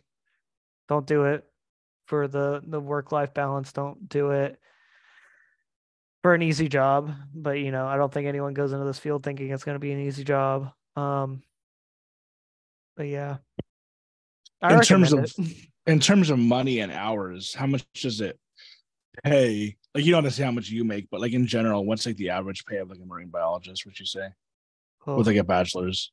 Well, with a bachelor's, like you're looking at thirty if you're lucky. Okay and you're so working you're working overtime unpaid. How how do they get away with not paying you overtime? They know you're passionate. Oh man. They know you're gonna take it home and do a little extra. Yeah. So in terms of the future of the ocean and the, the sharks and the fish and going back to the con- conservation, um, from you actually being out there in the field, are you kind of like actively I think you said before you are that we are seeing things degrade. Um, and then also going back to the the global warming thing, um, what are some things that you feel like we can do about it to save the planet and the oceans mm-hmm. and everything? Um, as far as like environment degradation, you know, I obviously am out there so much that it's more obvious to me. It's more obvious to people who are out there day to day what's changing over a long period of time. But you know, the, the data is kind of saying it. Um, I, I but you know, is is I don't want to be just one thousand percent Debbie Downer, one thousand percent. You know, we're screwed. Um, there's so much that we can do. You know, I think in the last two three years, looking at the big shift of getting away from plastic, single use plastic and everything, and how you know we kind of rallied against or rallied around those aspects. Um, I do have hope. You know, I'm not hopeless when it comes to this job. Um, I think we could uh easily do a lot to impact what impacts we have to the ocean, what impacts we have to you know our coastal marine systems and everything like that. Um, you know, as far as what you can do day to day, you know, look at what fish you're eating. You know, make sure you're not eating at risk species. Make sure you're not, you know, look at the companies you're buying from. You know, some companies are better than others when it comes to you know how they impact environments. Um, you know, try and limit your seafood intake. You know, I'm not telling you what to eat, how to eat. You know, I like meat. Um, I eat seafood every now and then, but I'm not going out and eating salmon every meal. Um, you know, just kind of be more conscious of what you do, how it impacts um, the environment and the ocean specifically. Okay, cool. And then in terms, this is kind of like a personal question, or any drone photographers out there.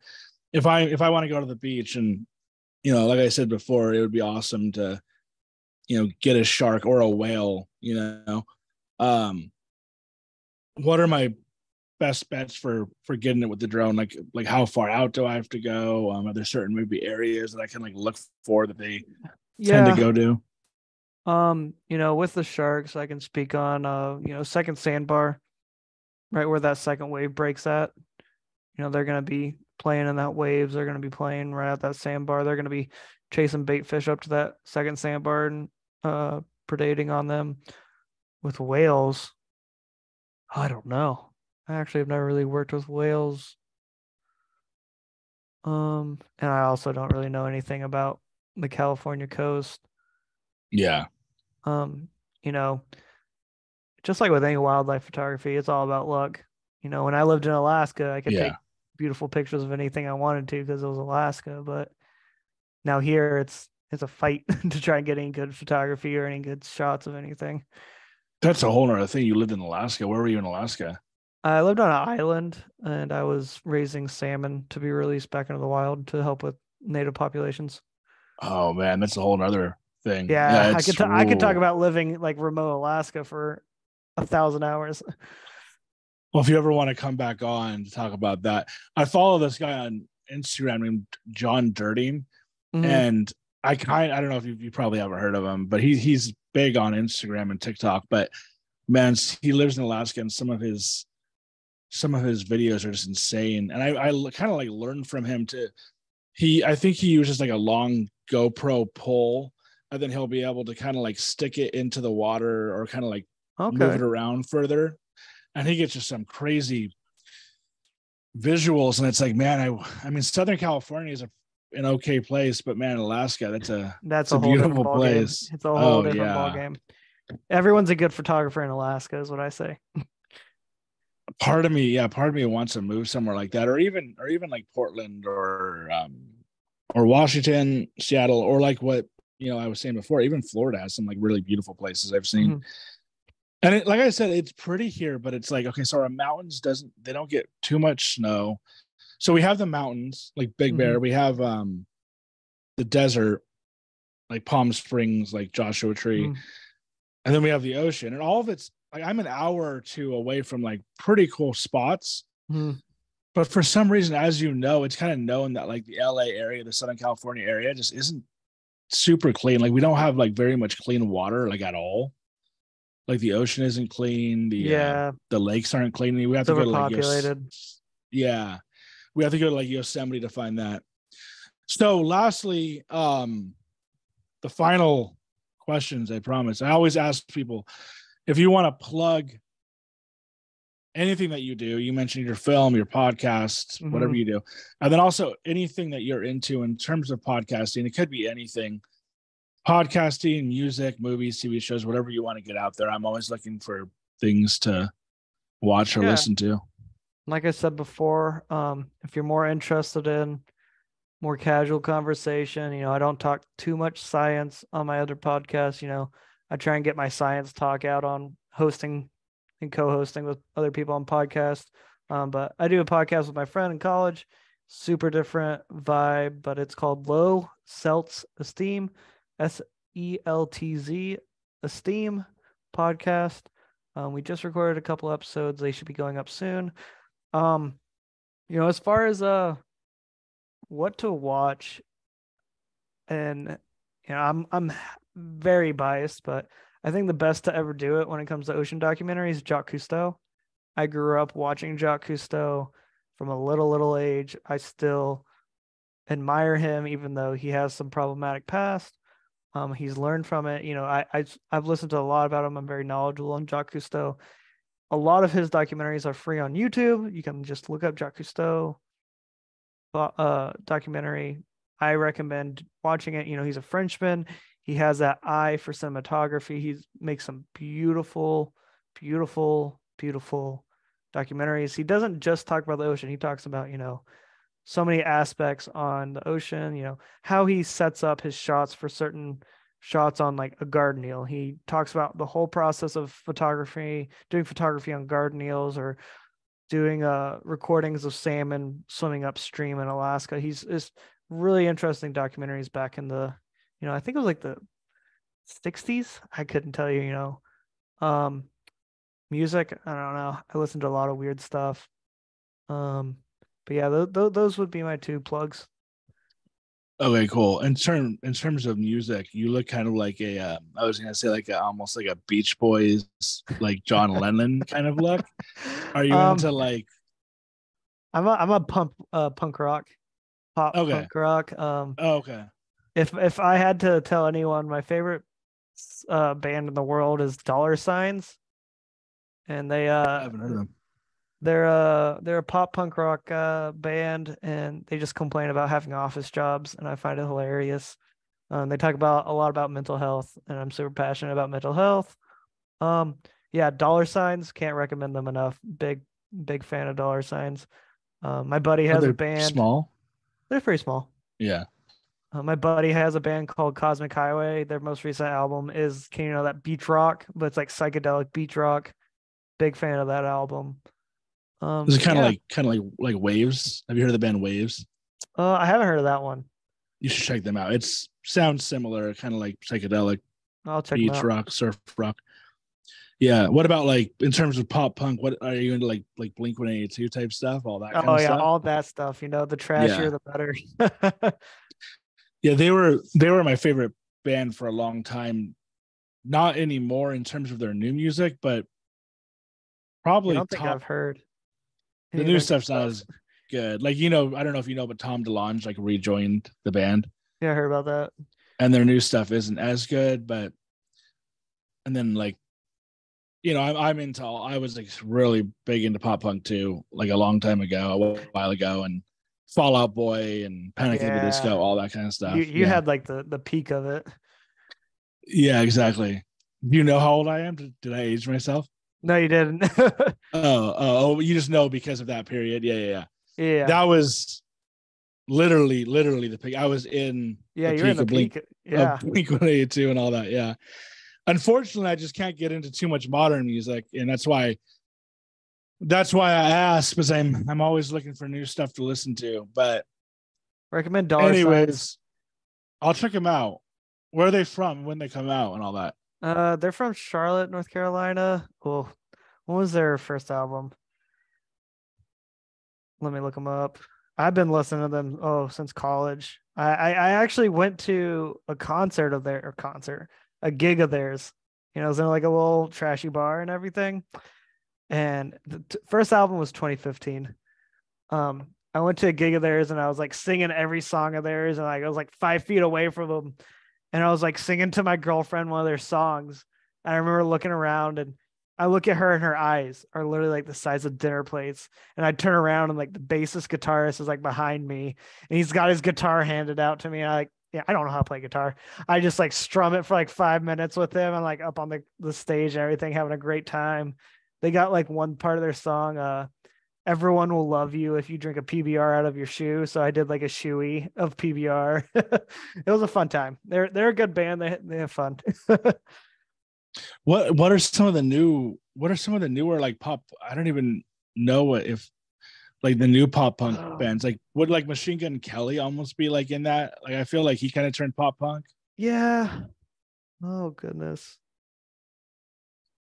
pop punk what I, I listen to more like on the indie side of the pop punk um dollar signs really is in my opinion like the the best of the pop punk in this current age. Yeah. yeah. Okay. And then yeah, I would love to have you back on. I think we to more, we could probably go over some other stuff because you know, I I was out of my depth with marine biology. Didn't know too much questions to ask, but um and then yeah, I would love to talk with you about your experience on an island in Alaska. So oh, real sure. quick and then we'll end it. Where did where did you grow up? Like did you grow up in Florida, then go there and come back, or? I'm from Tennessee, landlocked. Tennessee. I'm a landlocked Tennessean. So Tennessee to Alaska, to Florida, Tennessee to, to Florida. Florida. Studied in Florida, worked a little bit in Florida, went to Alaska, came back to Florida with my current job. How long were you in Alaska for? Half a year. Was that just kind of like a passion project or to make money or what? Make money. Yeah, I made good money. I was living on an island. I didn't buy anything. I banked all the money. I worked 24 7 basically to make as much money as possible.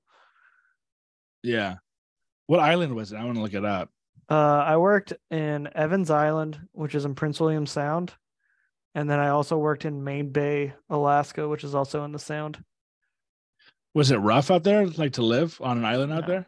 Um, there are certain days that were definitely more rough. You know, you had to order your beer a month in advance to come on a boat.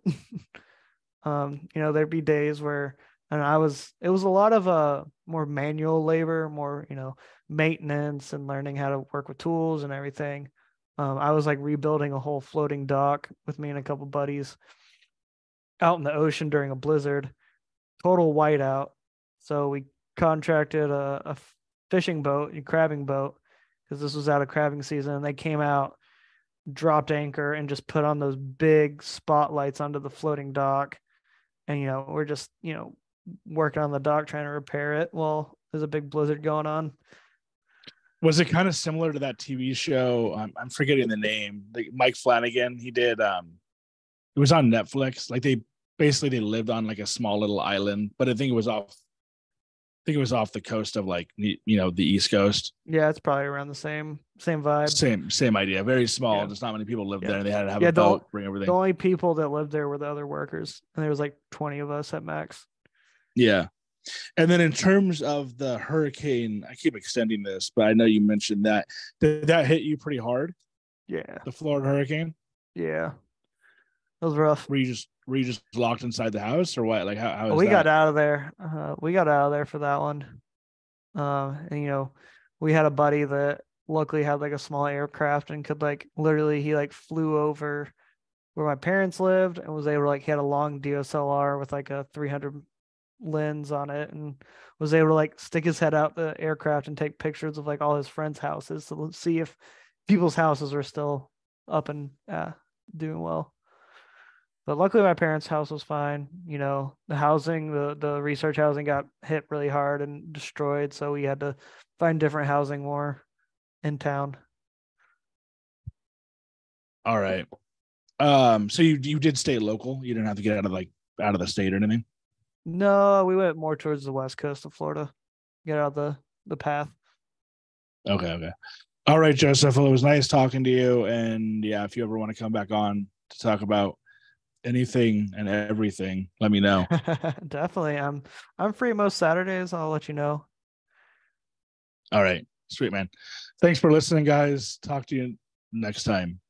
Bye.